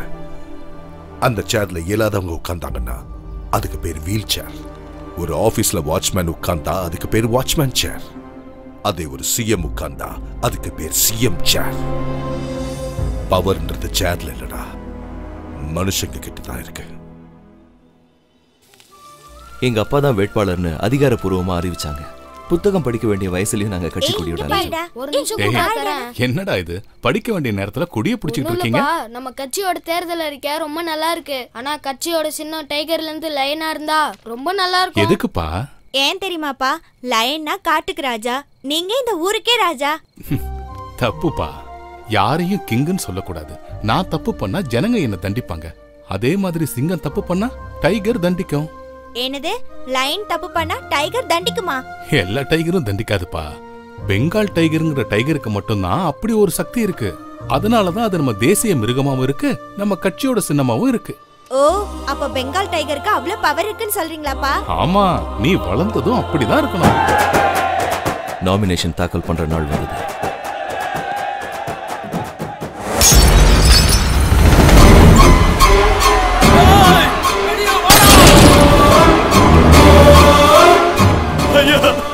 தப்பு நடந்து போச்சு ஐயா. பாருங்கய்யா ஐயா. அத்திப்பட்டில் விஷமருந்தி பலர் கவலைக்கிடம். ஆபத்தான நிலையில் பலர் மருத்துவமனையில் அனுமதி. பணத்திற்காக போலியான மருந்துகளை கொடுத்து பல உயிர்களை பறித்துள்ளார் ஜெய நாராயணன் மருத்துவமனையில் இதுவரை நூற்றுக்கும் மேற்பட்ட மக்கள் இறந்துள்ளனர். உயிரிழப்பு மேலும் கணிசமாக உயரும் என்று மருத்துவர்கள் ஆச்சுகிறார்கள் உயிரிழந்தோர் எண்ணிக்கையை மருத்துவர்கள் கூற மறுத்துவிட்டனர். இதற்கு காரணமான ஜெய நாராயணனை கைது செய்ய வேண்டும் என்று மக்கள் போராட்டம்.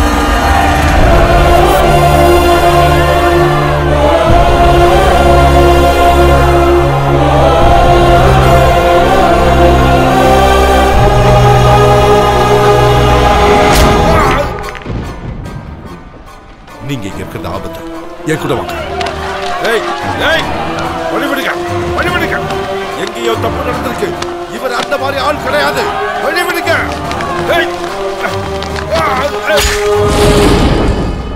ஐயாவை யாரோ குத்திட்டாங்க. ஓடுங்க. உனக்கு சீட்டு கொடுக்குறேன்டா. எதிரியும் துரோகியும் பக்கத்திலேயே இருந்தாங்கன்னு எங்க அப்பாவுக்கு தெரியாம போயிடுச்சு. அவனுங்க அப்படி பார்க்கிறேன். உன் கூட நான் சம்பாதிக்க முடியாத. அதான் என் கூட சேர்ந்துட்டான் நான் கேட்டிருந்த சீட்டை அவனுக்கு உனக்கு கொடுத்தானுங்க. அவ்வளவு சீக்கிரம் நீ ஜெயிச்சு மந்திரி ஆகிறதுக்கு நான் என்ன சும்பையா? உன்னை கொல்றதுக்கு முன்னாடி உன் பேரு கொல்லணும்னு நினைச்சேன். அதான் உன் மருந்துல விஷத்துக்கு சாகறதுக்கு முன்னாடி ஒண்ணு தெரிஞ்சுக்கோ. வாழ்க்கையில பணக்காரன் கிட்ட பவர் இருக்கிறவங்க கிட்ட மோதலாம். பேக்ரவுண்ட் இருக்கிறவங்க கிட்ட கூட மோதலாம். ஆனா புத்திசாலி கிட்ட மட்டும் மோதவே கூடாது.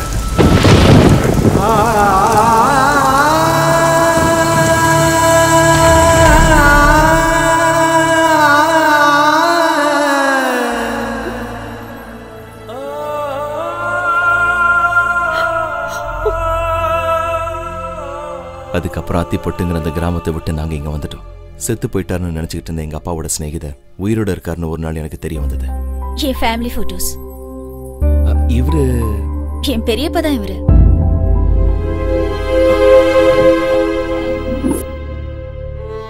ஒரு ஆக்சிடென்ட்ல அவர் ஃபேமிலியை சேர்ந்த எல்லாரையும் எடுத்துக்கிட்ட கடவுள் இந்த உண்மையை சொல்றதுக்காக இவரை மட்டும் உயிரோட விட்டு வச்சிருந்தாரு. அவங்க அப்பாவை புத்திசாலித்தனமா கொன்னான். அதே மாதிரி நீயோ அவனை புத்திசாலித்தனமா அழிக்கணும்.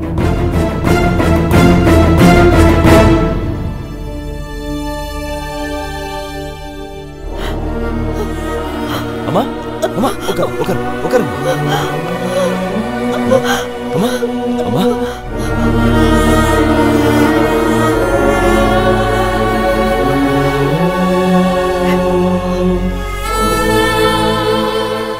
எங்க அப்பாவுக்கு நடந்த அநியாயத்தை இந்த வீட்ல இருக்கிற எல்லார்கிட்டயும் மறைச்சு வச்ச. அம்மா கிட்ட கூட சொல்லல. வெளியே போகும்போது எங்க அப்பாவோட பேரை சொல்றதுக்கு கூட கூச்சப்படுற அண்ணனுங்க கிட்ட கூட சொல்ல டேய் வயசுல நீ சின்னவனா இருந்தாலும் இப்படி ஒரு காரியத்தை பண்ணி இந்த வீட்டுக்கே மூத்தவன் ஆயிட்ட அப்போ எதுக்காக அந்த பணத்தை வாங்கின? நாளைக்கு எங்க அப்பாவோட இறந்த நாள். அவர் மரியாதையை இழந்த நாள். எந்த ஊர் எங்க அப்பாவை வெறுத்து ஒதுக்கிச்சோ? அதே ஊர் எங்க அப்பாவை நேசிக்கிற மாதிரி செய்ய போறேன். அதுக்கு தான் அந்த பணம்.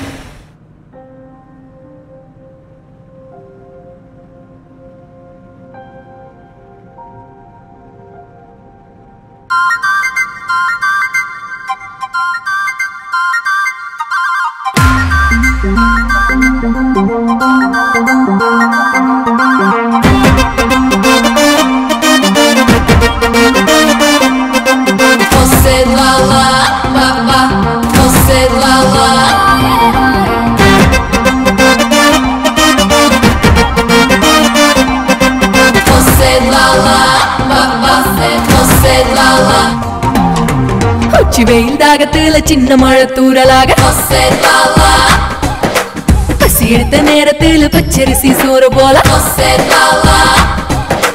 உச்சி வெயில் தாகத்துல சின்ன மழை தூரலாக பசி எடுத்த நேரத்தில் பச்சரிசி சோறு போல. அஞ்சு மாடு கம்மம் உள்ள கட்டமாடி மெஞ்சது போல் கட்டெரும்பு செங்கரும்பில் மாட்டிக்கிட்டு மூச்சது போல்.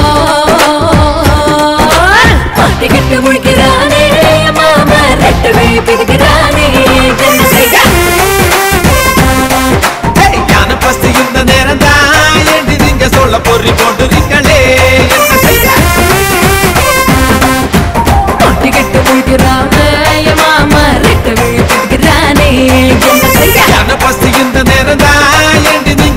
சொல்லி போட்டுருங்களே என்ன செய்ய?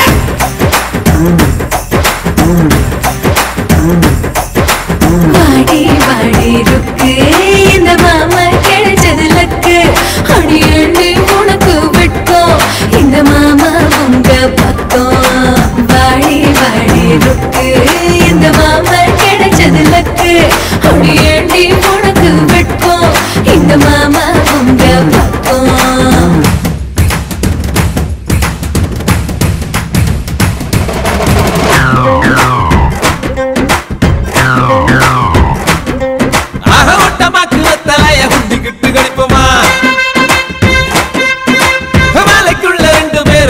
போல துடிப்பமா?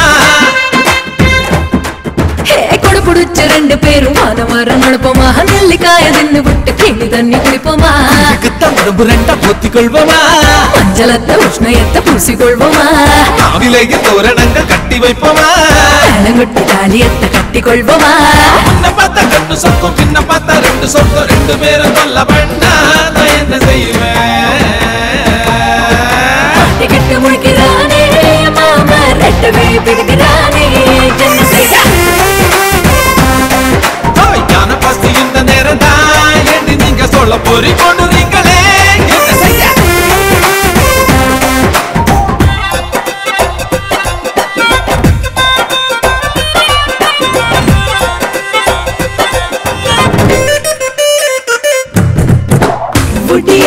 தங்கத்தில் செஞ்சு சிங்காரி வையாரியும் மாமி தருவா.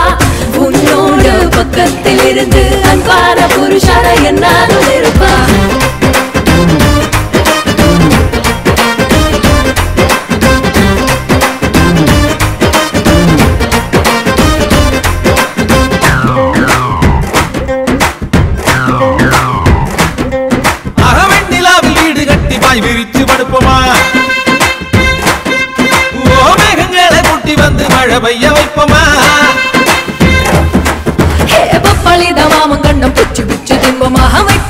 ஆசை தீர மொத்தம் கொஞ்சம் வைப்போமா?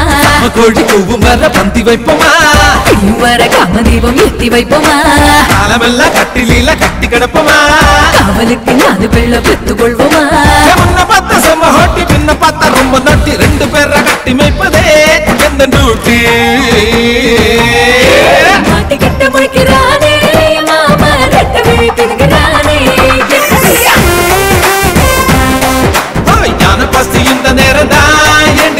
சொல்ல பொறி போடுறீங்களே? நான் என்ன செய்ய?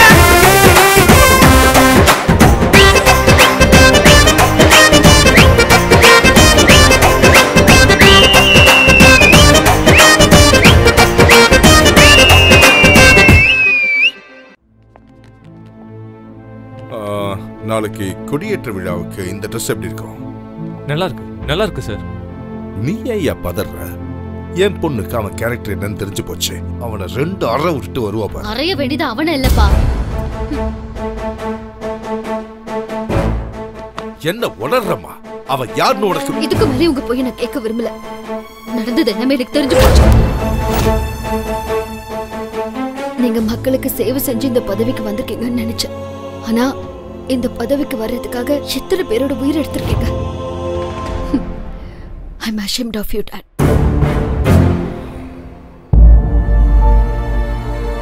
அவன் பேச்சியா மறுபடியும் நம்பல. அவன் ஒரு குள்ள நரி. இல்ல டாட். அவன் டைகர். பெங்கால் டைகர். அது யாருக்கும் பயப்படாது யாரையும் விடாது. எங்க இருந்து எந்த நேரத்துல வந்து தாக்கும்னு அதுக்கு மட்டும்தான் தெரியும். Get ready to face it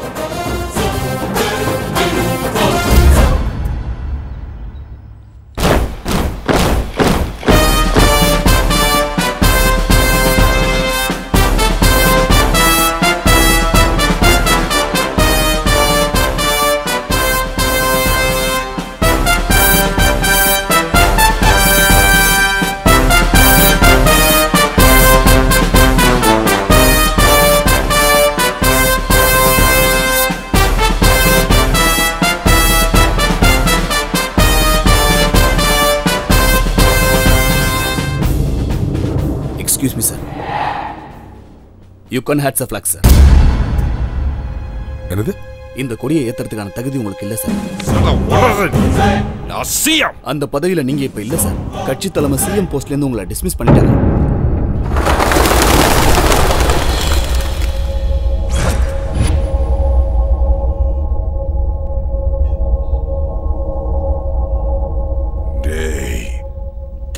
உடனே பார்க்கணும்.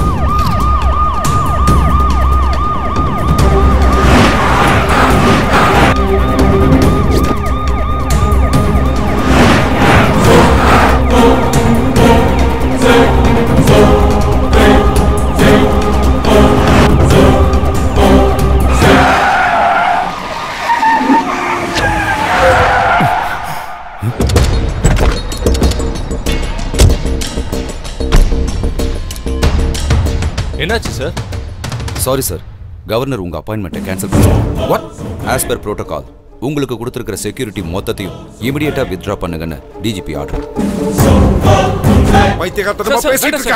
we are helpless sir sorry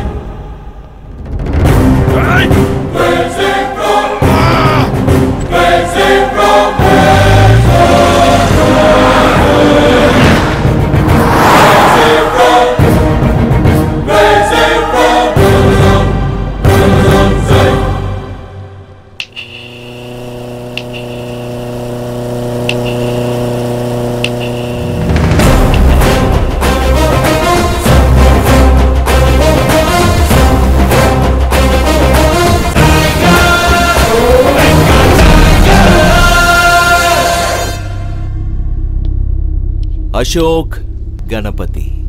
பணம் இருக்கிறவங்க கிட்ட மோதலாம் பவர் இருக்கிறவங்க கிட்ட மோதலாம் பேக்ரவுண்ட் இருக்கிறவங்க கிட்ட கூட மோதலாம் ஆனா அறிவாளிங்க கிட்ட மட்டும் மோதக்கூடாது. நீ சொன்ன dialogue.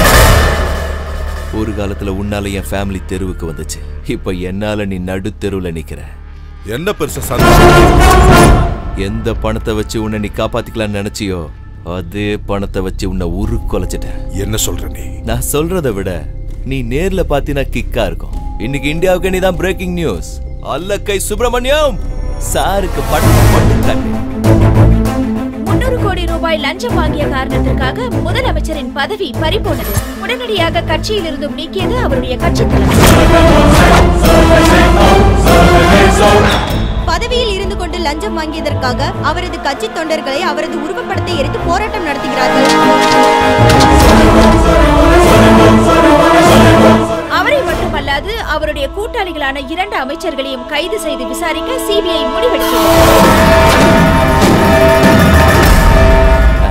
இதெல்லாம் எப்படி செஞ்ச? அப்ப எங்க அப்பாவை எலெக்ஷன்ல நிக்க சொல்லி எங்க வீடு தேடி நீங்க வந்திருக்கீங்க. அந்த நம்பிக்கையில தான் இந்த எவிடன்ஸ் எல்லாத்தையும் உங்களை நம்பி உங்ககிட்ட ஒப்படைக்கிறேன் சார்.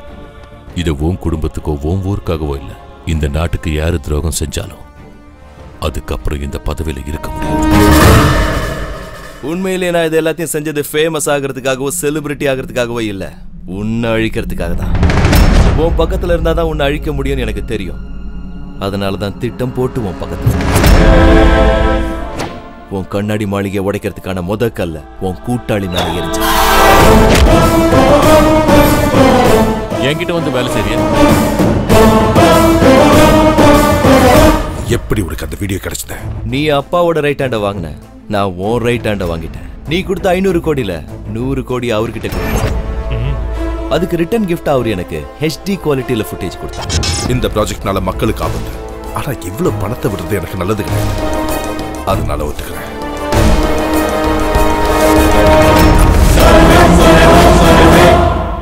தப்பா நினைக்காதீங்க சார் நூறு கோடிங்கிறது என்ன மாதிரி ஆளுங்களுக்கு one time settlement sir driver வண்டி எடு.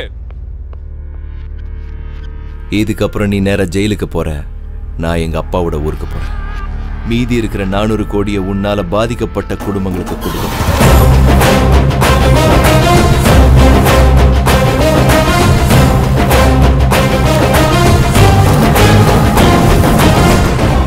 பதவி போயிடுச்சுல்ல. இனிமே தான் எனக்குள்ள இருக்கிற மிருகத்தை நீ பார்க்க போற.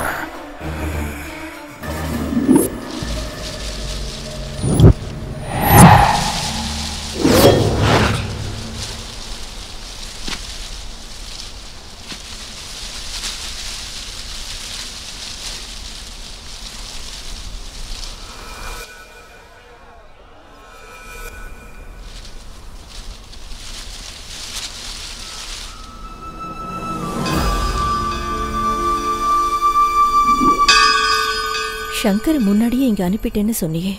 ஊர்ல ஒருத்தரை கூட காணோம். அப்படின்னா இந்த ஊருக்காரங்க இன்னும் நம்மளை நம்பல.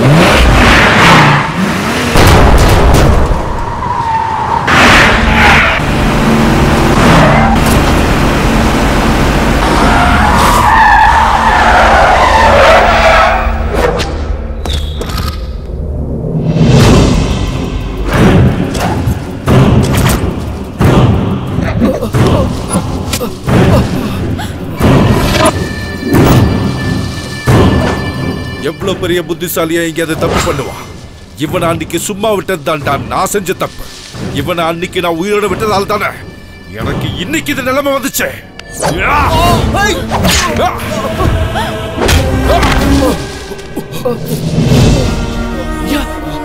இந்த தண்டனை நியாயமா எனக்கு கிடைக்க வேண்டியதுதான்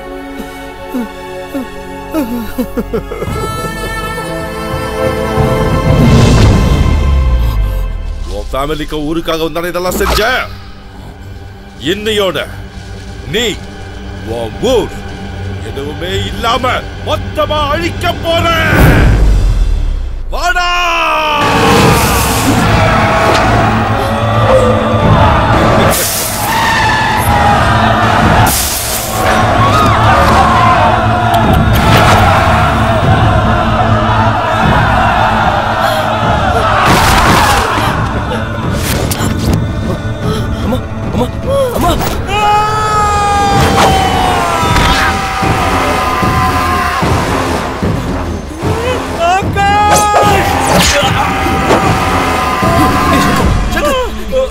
என்னடா இதெல்லாம் டேய் ஊர்ல பாதி பேருக்கு மேல கொண்டுட்டாங்கடா டேய் சங்கர் சங்கர்.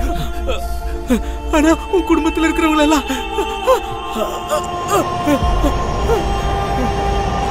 டேய்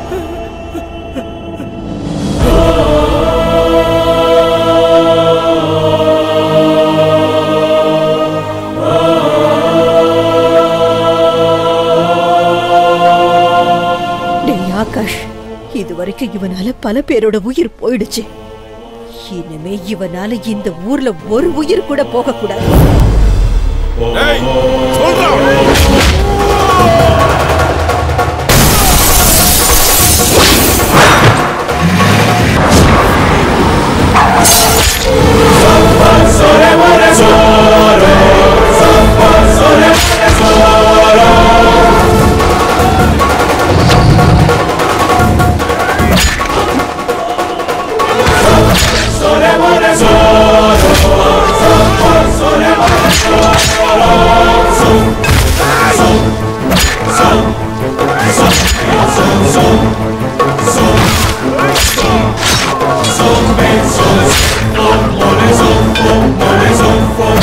So. hope.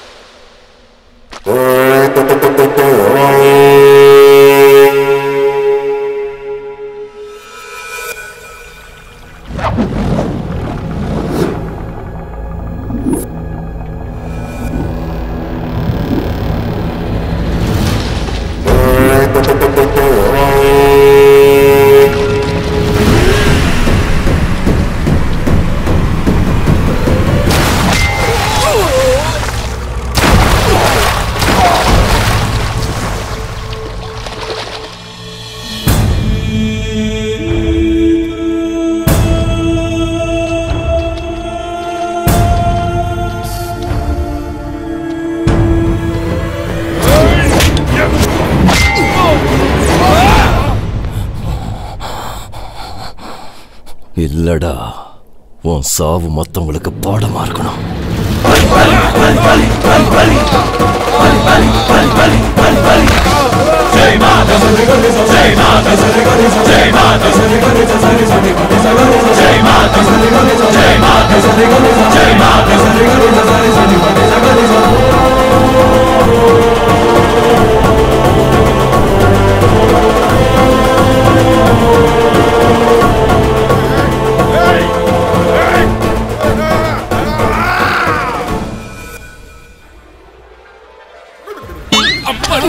என்னாச்சு ஜோசியரையா?